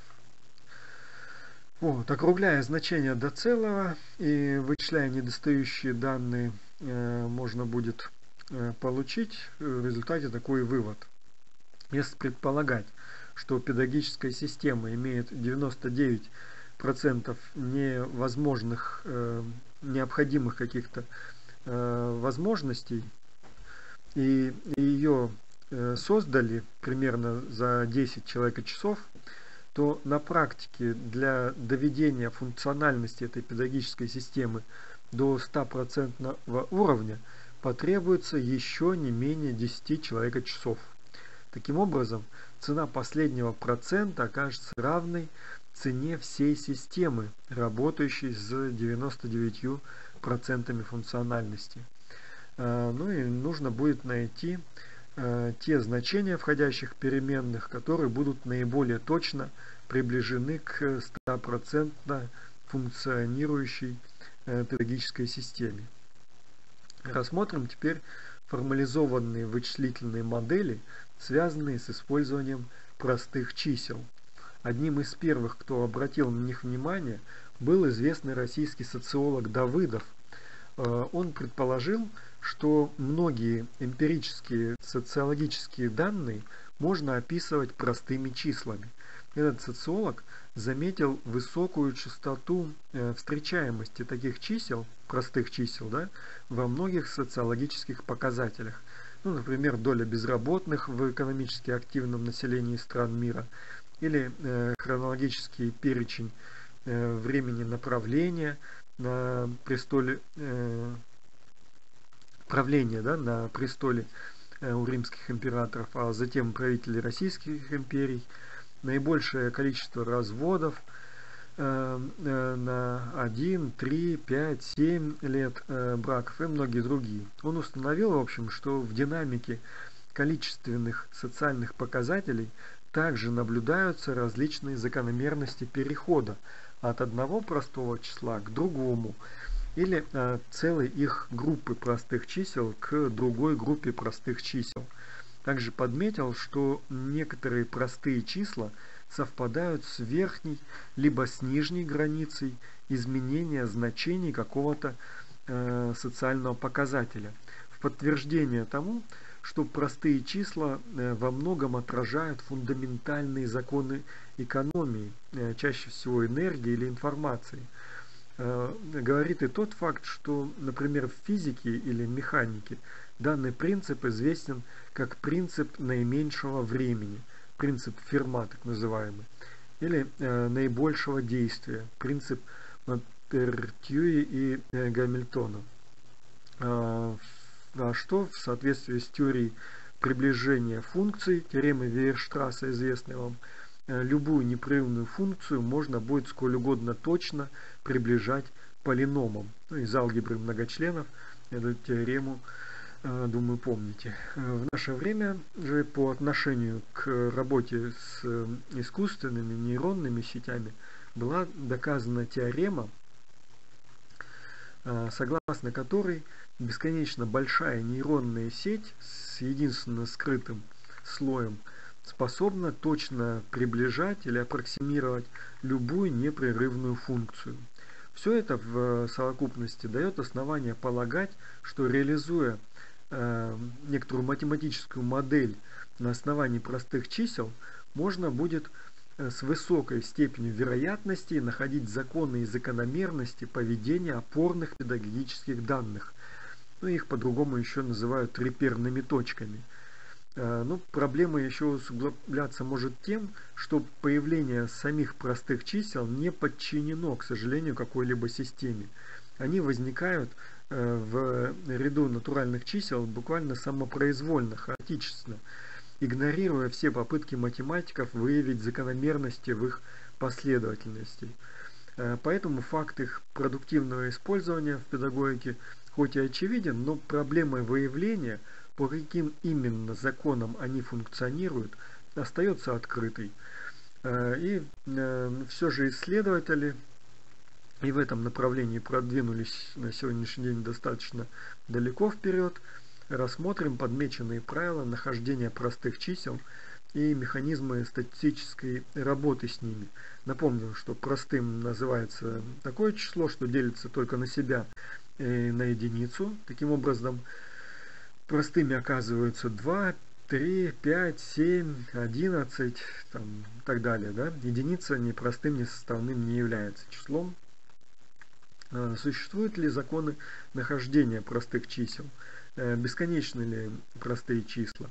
Но ну, если на второй вопрос о бесконечности множества простых чисел давно известен положительный ответ, простых чисел бесконечно много – то ответ на первый вопрос бинарен, да, и, да, и, и нет.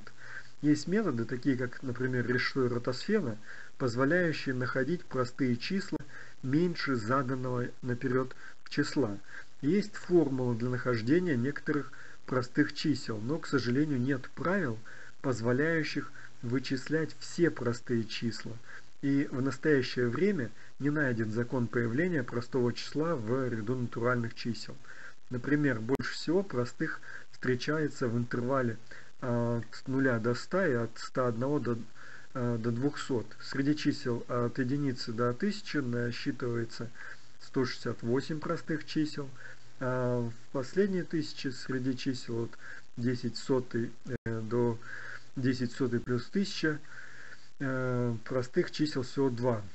Э, доказанная теорема определяющая приблизительную частоту появления простых чисел среди целых. То есть такой вероятностный подход можно будет задействовать.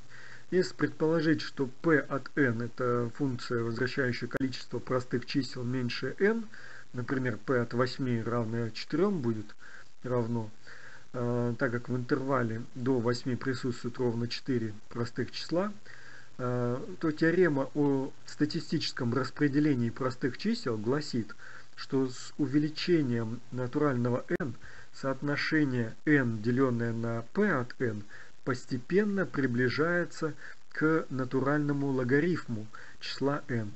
Один из первых вопросов, который неизбежно возникает при изучении простых чисел, звучит так. А каково, собственно, расстояние между двумя соседними простыми числами? Пока э, на этот вопрос нету э, точного ответа, однако можно заметить, что многие простые числа отделены друг от друга двумя числами. Например, 5 э, представляется суммой 3 плюс 2, 7 представляется суммой 5 плюс 2. Такие пары простых, для которых выполняется условие э, q равно p плюс 2, называются парой простых чисел близнецов. То есть два простых, э, отделенных друг от друга минимальным, ну, через одну друг от друга следующие. И формула простых близнецов вида 6х плюс 5 и 6х плюс 7, где x натуральное число, а, может сгенерировать бесконечное множество таких пар. А, имеется всего 1224 пары близнецов в диапазоне до 100 тысяч и 8164 пары простых чисел близнецов до, в диапазоне до, до миллиона. Если два простых числа расположены рядом в последовательности простых чисел, то такие числа называют э, четверками близнецов. Ну, например, 191, 193 э, и пара 197, 199. Формула четверки близнецов следующая.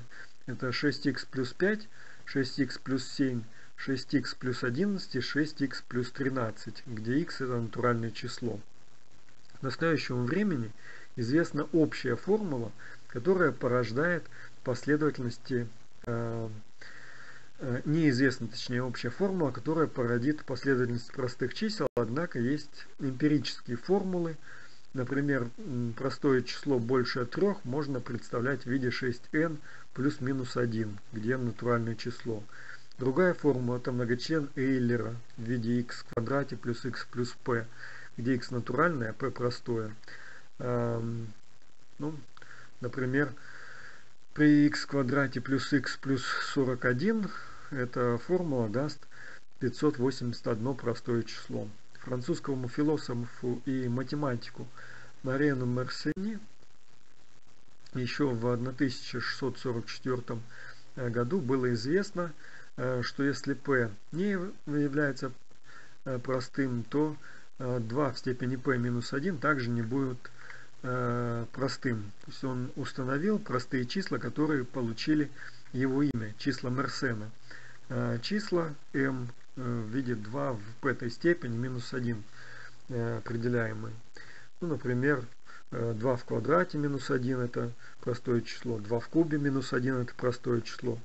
Ну, если продолжать в том же духе, то иногда будут простые числа появляться, ему э, удалось получить этот результат с помощью вычислительных экспериментов того времени, но по-прежнему остается загадкой, э, будут ли там достаточно большие числа, многозначные, простыми, в такой же форме э, записываемые. Также были получены и другие формулы определения простых чисел. Например, простые числа Ферма имеют вид 2 в степени 2 в степени n, увеличенное на единицу, где натуральное число. Или простые числа Каллена э, вида n, умноженное на 2 в n степени, плюс-минус единица. Основная теорема арифметики утверждает, что любое целое положительное больше единицы можно раскладывать в произведении простых чисел. Э, Гольбах полагал, что каждое четное число больше двух будет суммой двух простых чисел, а каждое нечетное больше пяти является суммой трех простых. Также доказана гипотеза Гольбаха, э, кто и справедливо для больших э, простых чисел, учитывая, что в педагогических системах э, э, они являются составной частью социальных систем, педагогические системы, да, то будет очевидно, что подмеченные закономерности можно использовать и переносить на педагогические данные. Если кратко сформулировать формальные прагматические преимущества использования простых чисел для анализа строения динамики педагогических систем, то можно отметить следующее. Во-первых, чем меньше составных частей, э, что, составляет, что позволяет э, сжать да, э, количественно педагогическую информацию, то представить ее можно будет более экономным образом и более просто ее можно будет проанализировать. То есть это простые множители как бы такими базисными будут да, э, компонентами в общем объеме данных. Во-вторых, свойства простых чисел позволяют принципиально по-новому анализировать эмпирические данные. И в-третьих, простые числа уже известны, э, что позволяет использовать их в качестве опорных реперных точек при прогнозировании и диагностике строения и динамики развития педагогических систем – особенно для составления прогноза а, по эмпирическим данным, которые в подавляющем а, числе случаев измеряются с некоторыми ошибками, ну, в рамках такого доверительного статистического интервала оказываются. Также замечено исследователями, что в исследовательской педагогике на практике можно очень эффективно использовать и числа Рамануджана Харди, так называемый. Это индийский математик, который заметил удивительные свойства числа 1729. По его мнению, это наименьшее натуральное число, которое представимо в виде суммы кубов э, двумя различными способами. Ну, например, это будет 1 в кубе плюс 12 в кубе и 9 в кубе плюс 10 в кубе. Подобные числа получили название э, чисел Харди. Э, британский математик, который э, был наставником э, Рамануджана, они определяются следующим образом, как n число это наименьшее натуральное, которое можно представить в виде суммы кубов n разными способами. В настоящее время известно только 5 чисел, обладающих такими мощными свойствами. А, шестое число этой последовательности до сих пор неизвестно, но они э, также могут служить некоторым базисом да, в мониторинге и прогнозирование педагогических процессов и явлений. То есть это числа 2, число 1729, ну и еще три многозначных числа. А, то есть в справочниках по математике можете их найти. И а, теперь рассмотрим удивительные закономерности встречающихся цифр в результате вычисления целых степеней двойки. То есть если посмотреть на последовательности первых цифр числа 2 в n степени, там будет 0, 1, 2, 3, 4, э, меняя n, 2 в n степени вычисляя, то окажется ряд чисел 1, 2, 4, 8, 16, 32 и так далее, в котором процентная частота появления на первом месте цифр э, в диапазоне от 1 до 9 будет следующая.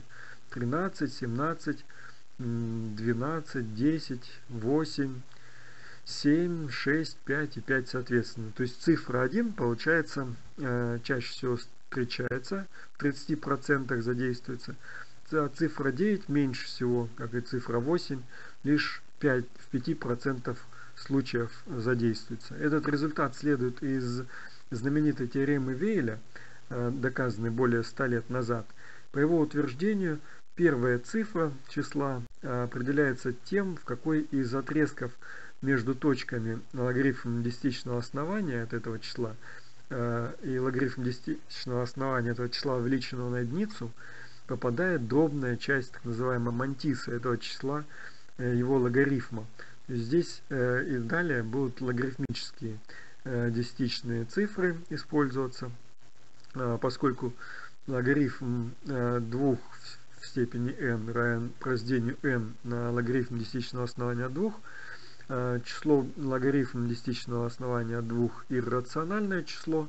Теорема Велли укажет нам э, количество распределений точек логарифма 2 в степени n на отрезке от 0 до единицы. Следовательно, доля чисел 2 в степени n, статистически имеющих э, положение первой цифры десятичного разложения того или иного числа, будет составлять длину поитого отрезка Э, начинающегося в логарифме десятичного числа этого э, до логарифма десятичного основания этого числа увеличенного на единицу. Таким образом будет получаться некоторая статистика первых цифр чисел 2 в n степени. Это 0,30, 0,17, 0,12, 0,10, потом 0,8 сотых, 7 сотых, 5 6 э, сотых и 2 раза по 5 сотых.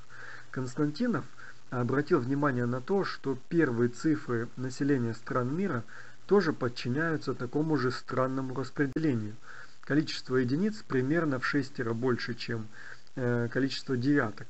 Впоследствии Севрюк обнаружил, что не только население, но и площадь стран мира подчиняются такому же странному закону распределения первых цифр степеней двойки – а а академик Арнольд, э, знаменитый популяризатор математики, да, указал, что в эту неспадающую последовательность частот первых цифр приближенно выписываются также и длины рек, и, длин, и высоты гор, А для контроля он проверил и убедился, что количество страниц в книгах библиотек различных может подчиняться такому же статистическому закону.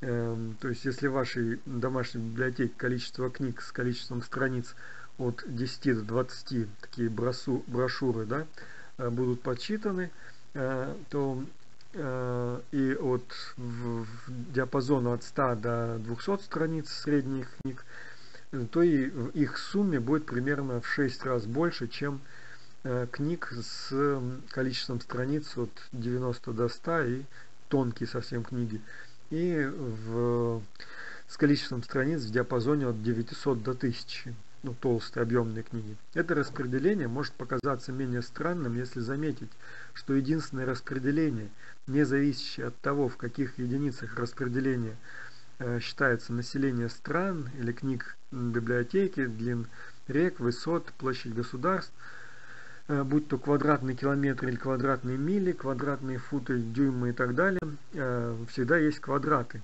Поэтому напрашивается мысль проверить его универсальность на предмет встречаемости различных параметров в экспериментальных педагогических данных. Аналогичное исследованию больших простых чисел близнецов и четверок близнецов для э, больших объемов экспериментальных педагогических данных – можно применить формулу по обнаружению так называемого сгустка бинарной сложности. Обнаруженное э, значение преобладает с э, ну, некоторыми составными событиями низкой бинарной сложности по э, сравнению с составными событиями с высокой бинарной сложностью. И этот эффект получил название эффекта Арнольда Филатова. Ну, с двойным да, таким названием эффекта. Два исследователя. Понятие бинарной сложности в статистических исследованиях ввел э, академик э, Российской Академии Наук Владимир Игоревич Арнольд для слов составных событий и спектров, так называемых дуг. По его мнению, разные дуги э, или спектры, записанные в виде двоичных значений числовых последовательностей одинаковой длины, могут обладать разной сложностью. Например, результат выпадения монеты 1.01 э, будет являться более сложным, чем результат 1.1.1. То есть э, сложность это некоторое количество возможных трансформаций э, в ходе проводимых эмпирических этих экспериментов. В потоковой последовательности, имитирующих большую величину, например, подбрасывание монеты, количественно преобладают простые исходы, то есть последовательные э, последовательности э, дуг вида 000 или 111 над сложными инверсными последовательностями, например 010 или 101. Разница между бинарными последовательностями с их уникальными свойствами и с другими типами последовательностей этими спектрами да, целыми, э, получается при э, подбрасывании монеты и теоретически может быть оценена э, методами мат-статистики. Дело в том, что существует четырехкратное преобладание простых последовательных составных событий над сложными инверсными событиями той же длины. И это позволяет вывести некоторую логическую условность так называемое э, составное событие э, после ввода логического обобщения. Это э, обобщение гласит, что события из нулей и единиц одинаковой длины, ну как, например, 3 ноля, 3 единицы, да, являются одним и тем же неразличимым составным событием одинаковой бинарной сложности. И оказывается, что количество рассматриваемых вариантов выпадений той же монеты можно резко сократить и тем самым уменьшить сложность формул, описывающих выпадение монеты. Такое упрощение позволяет найти конкретную формулу расчетка сгустков бинарной сложности. По э, Джозефу Форду э, случайная бинарная последовательность является э, последовательностью максимальной сложности – если э, указывается, что бесконечные максимально сложные последовательности настолько непредсказуемы, что их нельзя вычислить с помощью какого-либо конечного алгоритма. И э, добавляется, что задать такую последовательность можно лишь предъявив ее копию. То есть своеобразный словарь да, будет э, этой последовательности создаваться. Утверждение о том, что последовательность может быть задана только с помощью ее копии, говорит о ее принципиальной несжимаемости. Но это не совсем так на практике, ведь ее можно задать теми самыми спектрами да, слов, а следовательно применить механизм сжатия. И такой алгоритм позволяет получать нужные пропорции составных событий в процессе подбрасывания монеты. И он найден и хорошо исследован с математической точки зрения. Следовательно, можно и э, большую педагогическую информацию э, представлять э, в сжатом, пригодном для обработки виде. Необходимо заметить, что найденные формулы, так называемой потоковой теории данных – вам как информатикам это вполне интересно, да, будет эту потоковую теорию дополнительно изучить, но за рамки, конечно, теории вероятности статистики это выходит. Э, но найденные формулы из курса потоковой теории являются дополнением к известным комбинаторным и вероятностным формулам. Они начинают работать там, где завершают свое применение традиционные комбинаторные факториальные формулы – частности, формула для выпадения монеты известная, одна, вторая в n степени. Да? А, ну и очень образная область определения этих формул а, по определению Филатова описывается так. Если сравнивать области работ э, для вышеупомянутых формул в виде пространственных удалений от Земли, то традиционные формулы будут обслуживать область атмосферы э, и околоземного пространства, а формулы потоковой теории э, будут обслуживать область всей оставшейся Вселенной. Иными словами, бинарные сгустки их спектры могут использоваться в педагогическом исследовании лишь тогда, когда имеется очень большая статистическая база обрабатываемого материала. И э, только тогда можно будет использовать эту модель.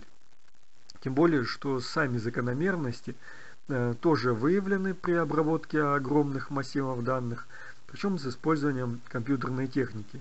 Таким образом, представленные формализованные вычислительные модели, как то принцип Паретта, закономерность простых чисел, чисел близнецов и четверки э, чисел близнецов, числа Мерсена, Ферма, э, Каллена – закономерности чисел Харди, закономерности в распределении неспадающей последовательности частот первых цифр э, степеней двойки являются простыми и удобными достаточно методами для анализа педагогических данных. Применение этих моделей основывается в первую очередь на том, что природа во всех своих проявлениях стремится к экономии, а педагогические законы и закономерности в этом плане не являются исключением.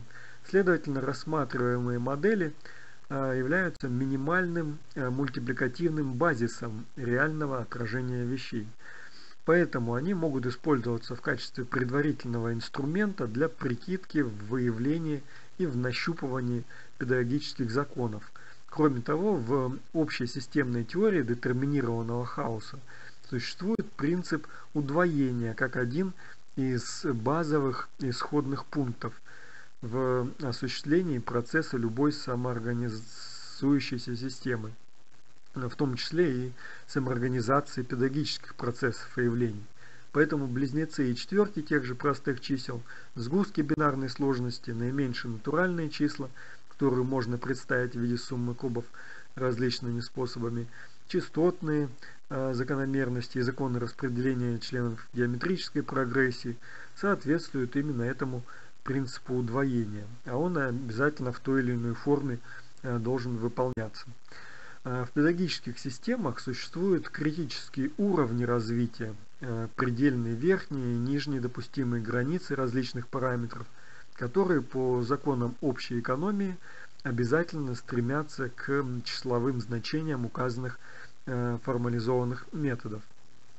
Все представленные математические модели – являются отражением фундаментальных законов природы, многие из которых подкреплены и основаны на законах симметрии, законах сохранения, на концепции золотого сечения и других законов, функционирующих на основе общей гармонии, поэтому являющихся своеобразным отражением объективной педагогической реальности, а, своеобразным структурным скелетом, строением и динамики педагогических систем.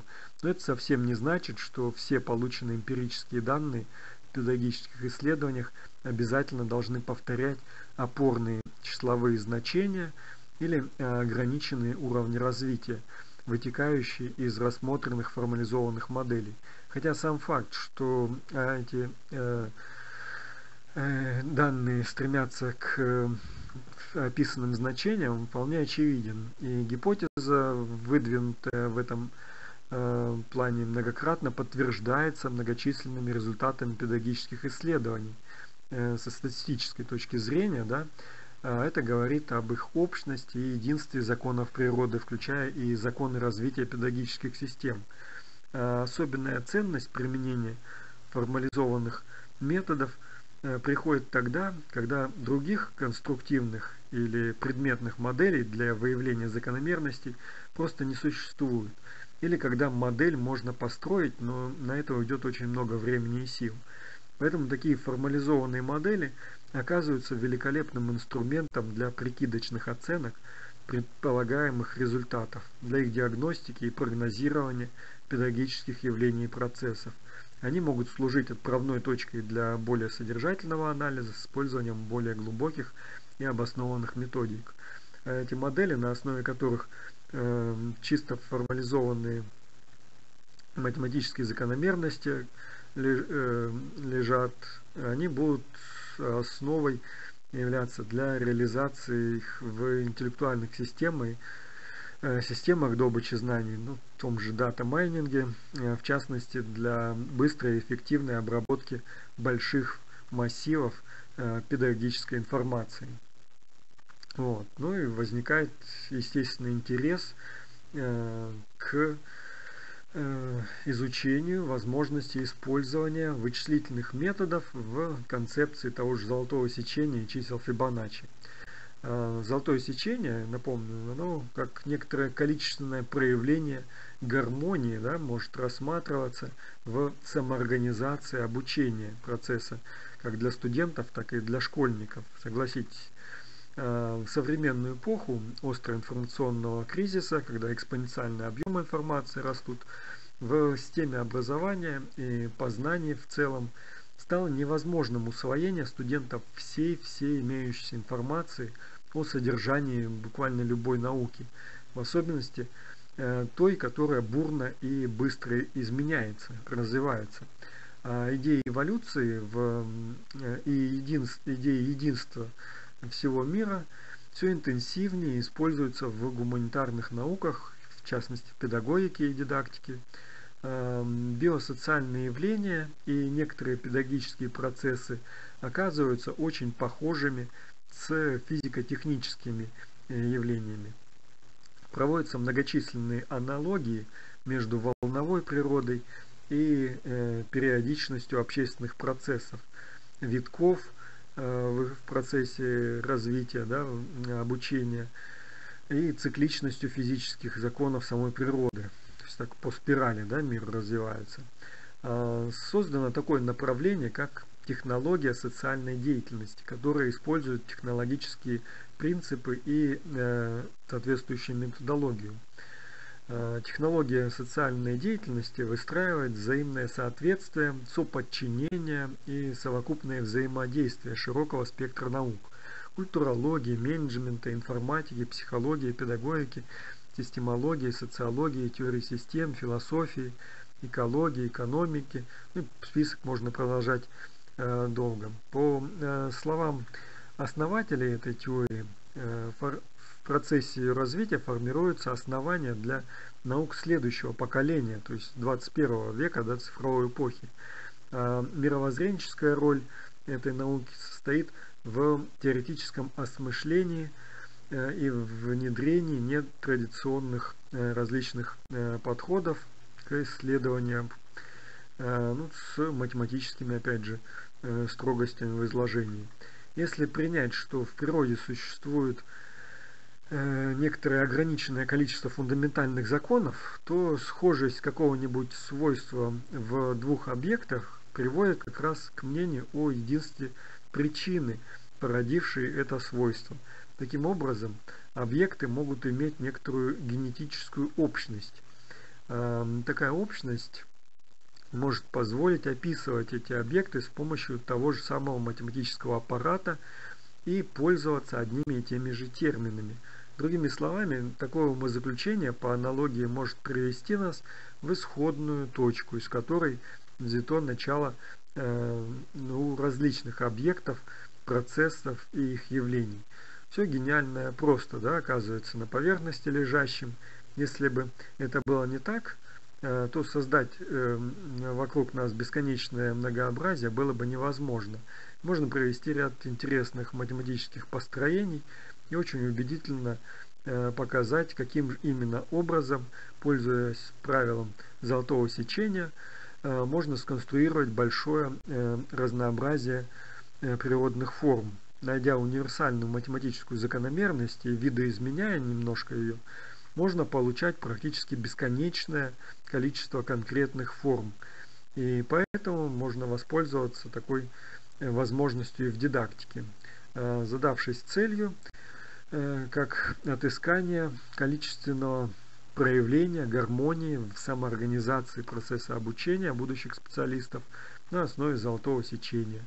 Рассмотреть математическую интерпретацию концепции золотого сечения. Напомню, если взять отрезок, АБ единичной длины и разделить его на две части так, чтобы большая составляющая была средним пропорциональным между э, его частью и всем отрезком, то длину большей части отрезка можно обозначить за x. Очевидно, длина его меньшей части окажется равной единице минус x. И, опираясь на условия задачи, приведем к соотношению. Единица, деленная на x, равна частному отделению x на 1 минус x. Отсюда, собственно, уравнение появляется x в квадрате плюс x минус 1 равное нулю.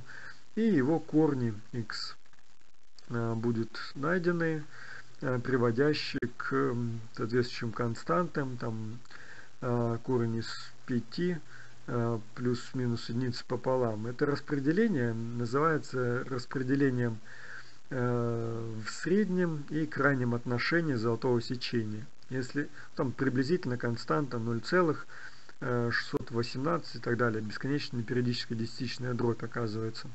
Если брать отношение э, с знаком минус, да, то э, отрицательный корень уравнения э, задействовать, то точка, с которой распределяется, разделяется этот отрезок, окажется вне отрезка АБ. В геометрии это распределение называют внешним, ну и э, константа, да, вот этого отношения золотой пропорции будет равна 1 целой и 618 э, и так далее, там бесконечно десятичная непериодическая дробь.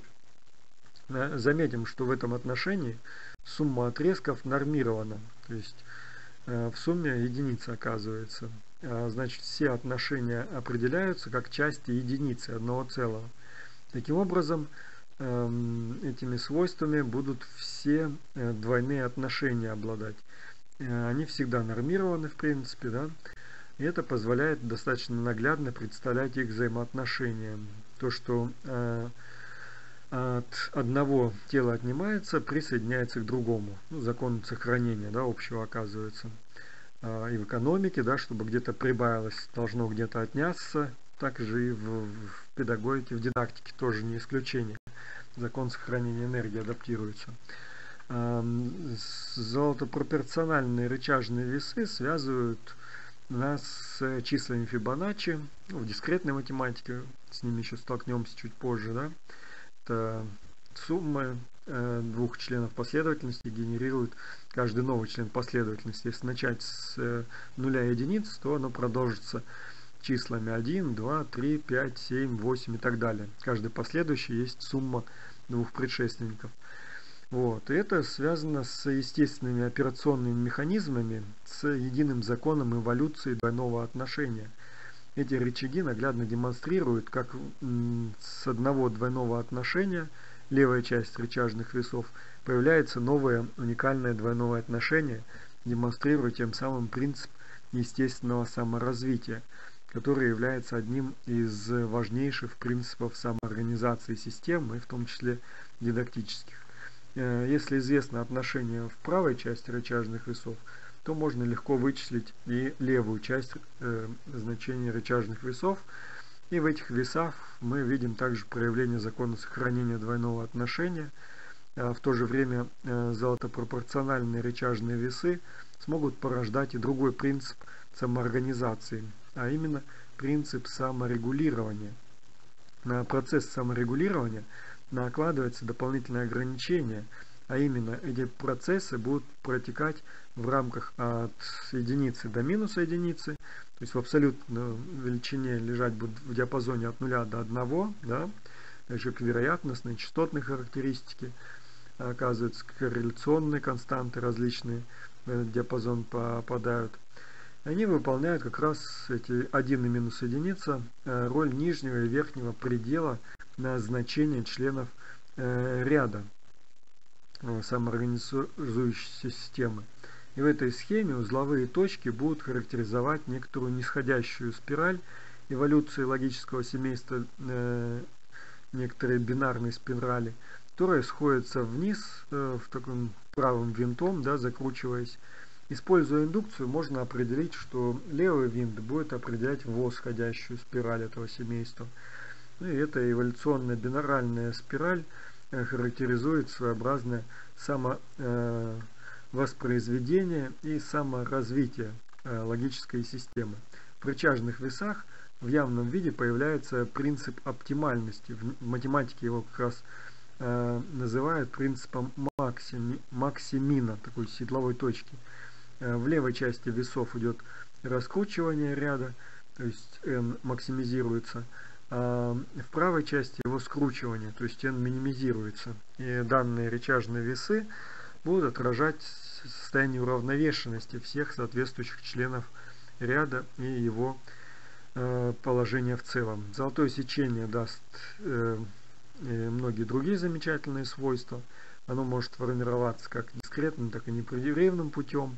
Если в рычажных весах золотой пропорции в формулах заменять коэффициент пропорциональности на единицу, э, то это привнесет Э, содержание переменной в э, n-мерную такую производную функцию, э, превратит ее, и мы получим некоторые золотопропорциональные рычажные весы в, в некотором в некоторой математической модели, глядя на которую легко увидеть, что эта золотая пропорция в рычажных весах стала характеризовать взаимоотношения двух произвольных функций – которые известны в математике как бином Ньютона. Исходя из изложенного, можно э, высказать гипотезу о причинах самодвижения материи, которая раскрывает последнее золотое сечение в рычажных весах. Когда-то в науке властвовала механистическая картина мира, в основе которой лежала механика Ньютона, и считалось, что мироздание, подобно часовому механизму, который, будучи один раз запущенным, э, можно будет спрогнозировать все события и изменения при условии, что известны начальные данные. Ну, как мы понимаем, ни начальных данных, ни законов, по которым они развиваются, по сей день неизвестно. А поэтому сегодня э, наука перешла совсем на противоположную точку зрения, такую квантово-механическую. И квантово-механические подходы привели к тому, что в науке, в первую очередь в физике, доминирует принцип квантовой запутанности э, в виде общенаучного подхода, принципа э, соответствия э, заключающейся. Ну и общую формулу из этого золотого сечения тоже можно будет адаптировать к принципу соответствия на таком языке математики. В словесной формулировке, которая означает, что последовательность событий характеризуется некоторой дискретностью – в то время как изменения характеризуются в виде непрерывного процесса, и единство непрерывности и прерывности в физике микромира известно как корпускулярно-волновой дуализм, э, единство да, корпускулярной и волновой теории. А в макромире это единство известно как структурно-функциональное единство. Э, в мегамире оно характеризует такие свойства материи, которые э, существуют в единстве, да, в одном целом. Например, единство вещества и поля, единство пространства и времени, единство информации и неопределенности, а также единство бытия и мышления. А квантовая запутанность возникает, как правило, когда учитывается только состояние векторов в конкретном срезе, да, в моменте времени, которые принимают участие в ходе взаимодействия, но при этом не учитываются степени уравновешиваемости и состояния относительно внешних систем. На эту систему, на эту ситуацию можно тоже в формальном виде взглянуть и задаться вопросом, а можно ли в этих условиях говорить о какой-то квантовой определенности. Э, такая определенность возникнет лишь тогда, когда рычажные весы э, состояний двух взаимодействующих векторов будут отнормированы и э, приведут к нормальному состоянию. То есть взаимодействие будет в явном виде учитывать некоторую меру, которая отражает степень неуравновешиваемости состояний взаимодействующих векторов как в статистическом, э, статическом состоянии, так и в динамическом изменяющемся состоянии. Применение метода золотого сечения в дидактике – позволяет сознательно получить устойчивое развитие учебного процесса.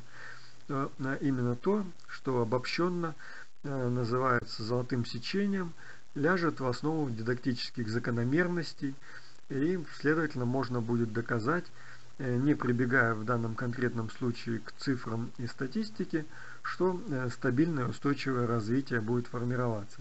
Если интерпретировать общую формулу для механизмов Э, определение успехов в обучении относительно мышления, памяти, интеллекта и э, мышления, обучения, да, эмоционального ума, интеллекта студентов, то будут соответствующие э, математические модели формироваться. Так?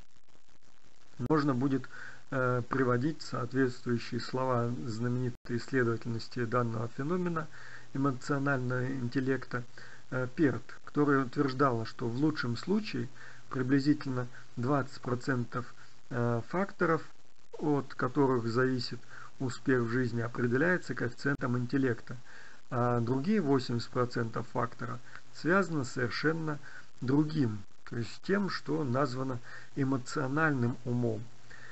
Э, исследуя же понятие результатов обучения и усвоения знаний, можно будет их связать Э, с такими категориями, как объем учебного материала, как количество информационно-содержательных элементов и время.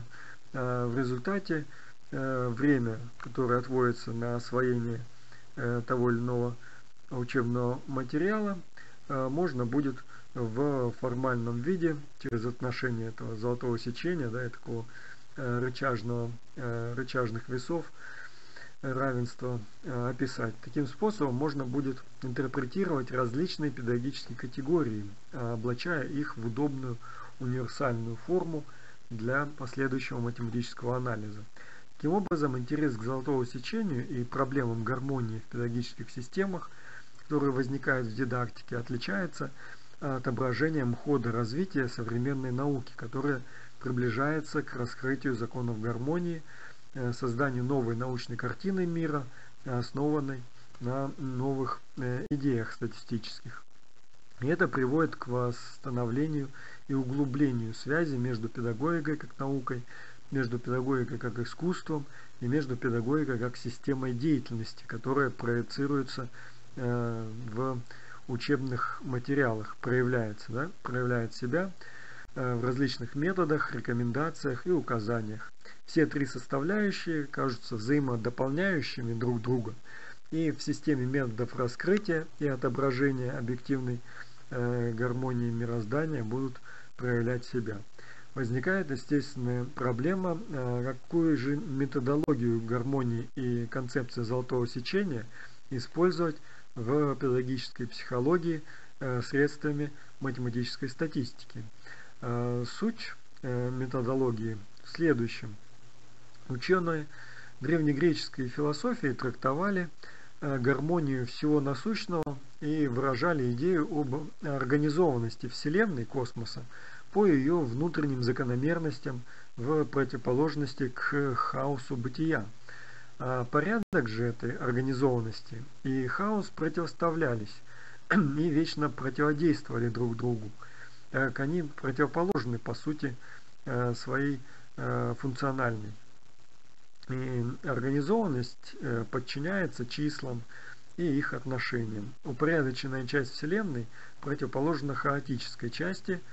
Э, пропорции и определенные соотношения чисел создают гармонию явления природы, общества и духовного бытия. А в гармонии и в определенной мере э, некоторые закономерные дисгармонии находятся и зарождаются мысли, чувства, духовность. Именно такое понимание природы побудило Пифагора, его последователей, а также Платона и других э, древних мудрецов найти первые математические способы выражения пропорций сечения в построении природных систем. С древних лет человек стремился окружать себя красивыми вещами, э, даже предметы быта э, жителей древнего мира, которые, казалось бы, преследовали сугубо утилитарную цель, э, допустим, для хранилища воды или для оружия на охоте и тому подобное, украшались. То есть это демонстрировало нам стремление человека к э, некоторой красоте.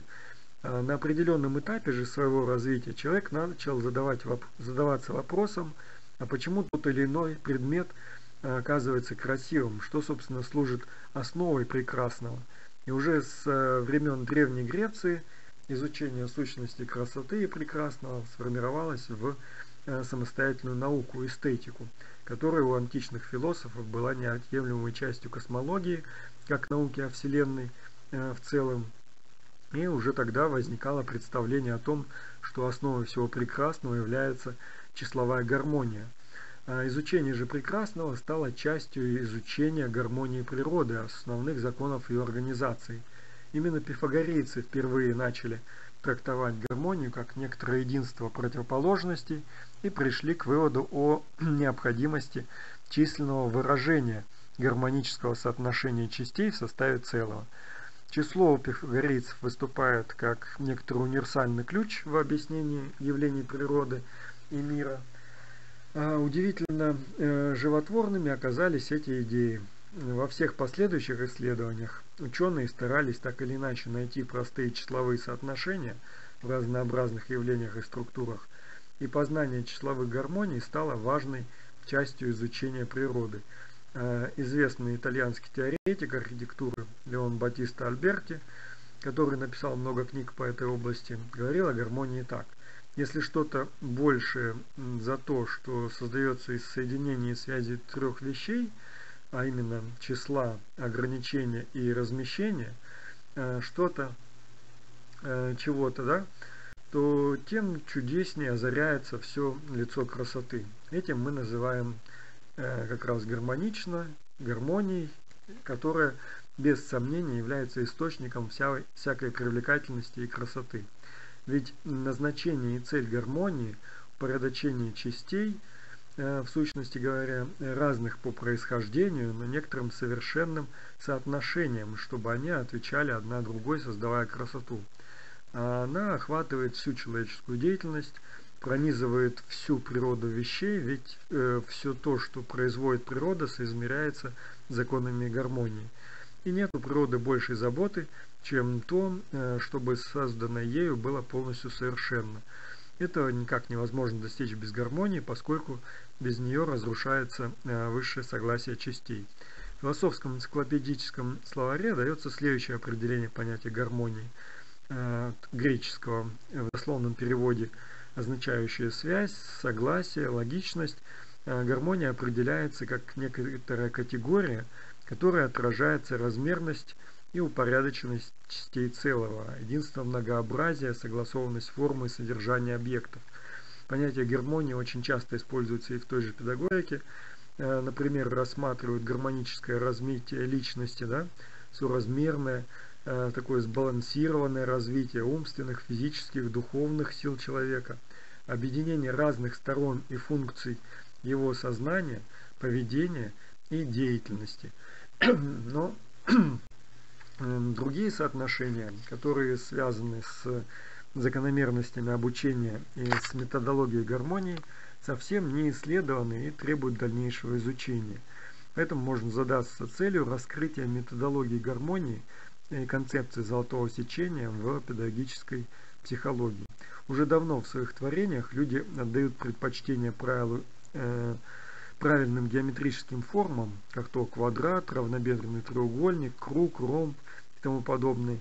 Поэтому, как видим, формулы красоты уже известны достаточно много. Симметричные фигуры имеют преимущество перед несимметричными. В пропорциях разнообразных сооружений часто применяют целочисленные соотношения.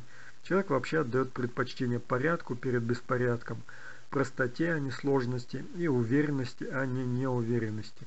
И в этом, наверное, обнаруживается сущность самой жизни, как феномена природы, ее благоустроенность, а не хаос. А золотое сечение же это понятие математическое, и его изучение это прежде всего задача э, математики. Но оно же опять же является и критерием гармонии, красоты, это уже как категория не только искусства и эстетики, но и как Э, той же науки педагогики. Э, согласно Менделееву, э, наука начинается с того момента, когда в ней начинают измерять. То есть выстроить дом педагогической науки возможно только тогда, когда мы начнем измерять факторы или какие-то дидактические либо воспитательные характеристики в своих теоретических допущениях. И на их основе будем анализировать, прогнозировать и получать педагогические законы и закономерности – рассмотрение особенностей появления золотого сечения – это э, некоторая в зависимости от явлений природы к творениям человека будет своеобразным объектом исследования являться у многих ученых, которые работают в различных областях науки, и в том числе педагогики.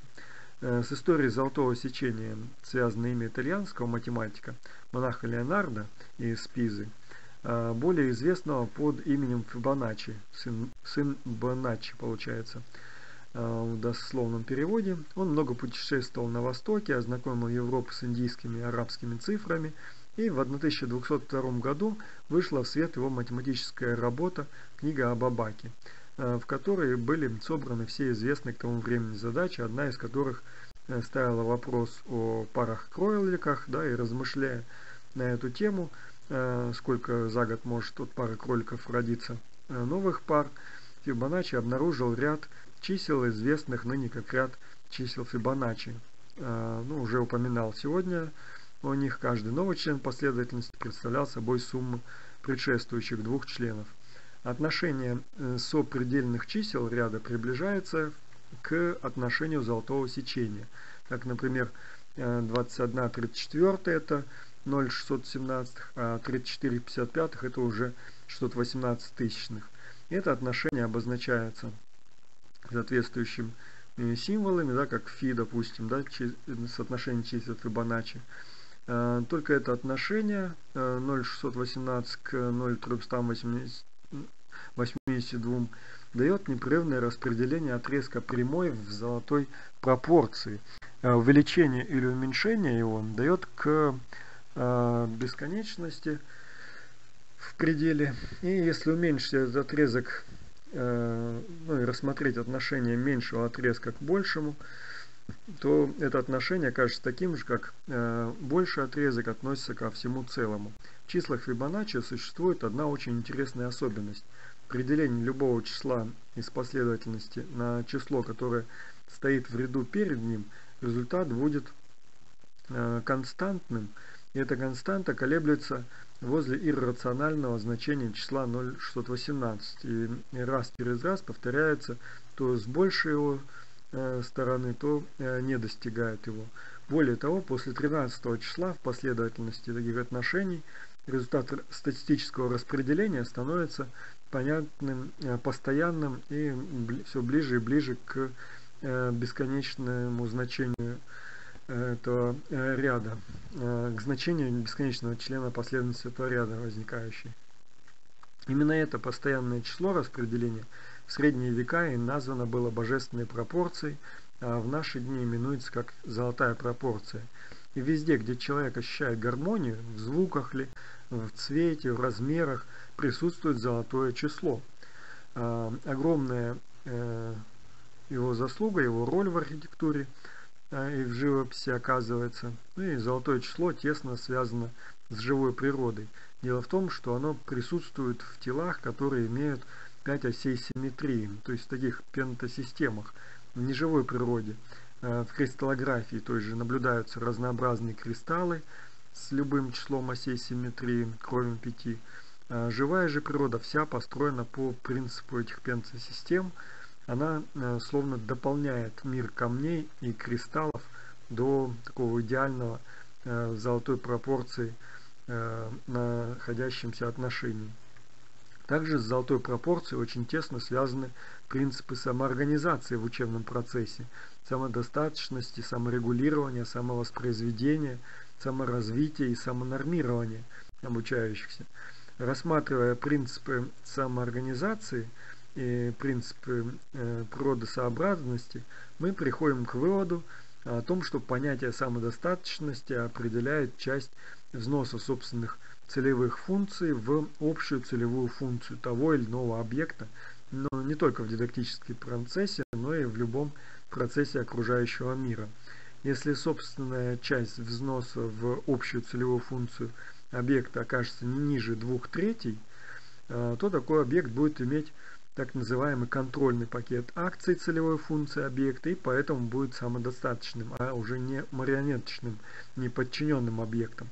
Вспомним, что во всех правилах, э, всех нормах голосования результат будет приниматься лишь тогда, когда за него проголосовало не менее двух третей присутствующих. Ну или вспомним на том же портале, да, не менее чем две трети вы должны будете пройти, да, там более 60 баллов для зачета от вас ожидается. Но э, две трети это 0,66 да, в периоде, а золотая пропорция это 0,618 примерно, то есть как раз чуть больше 60%. Но тем не менее близкое совпадение, не так ли? И не случайное это совпадение. А, поэтому более точной количественной оценкой самодостаточности окажется а, ну, золотое сечение. Да? А, итак, для практического использования меры самодостаточности, которая определяется качественным состоянием объекта, который живет в гармонии с окружающим миром, можно считать число 0,618 тысячных. Ну или те же 60 баллов, да, 60% от освоенного материала. Вот, собственно, здесь как раз и появляются. Это не совсем с потолка взятое случайное число, как Рубикон своеобразный.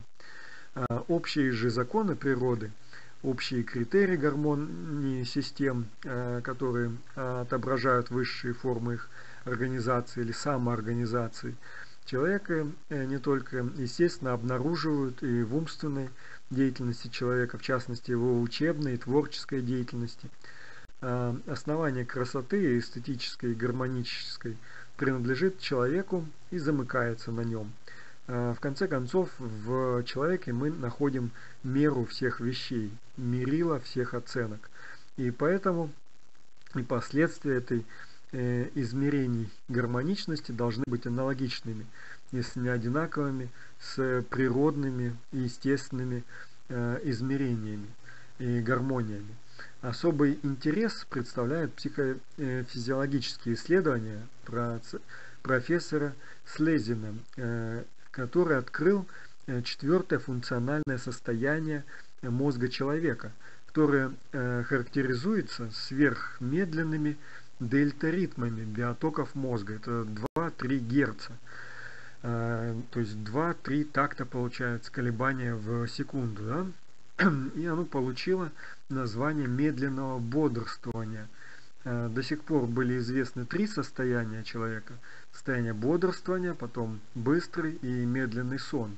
И два вида ритмов, а именно альфа, это 8-12 Гц, и бета-ритм 13-30 Гц. Ну, для нас, с точки зрения дидактики и педагогики, больше интерес будет составляться не в том, что дельта-ритм бывает у взрослого человека а во время медленного сна или возникает при чтении ритмически организованных каких-то рассказов, да, лекций, так называемого психологического погружения.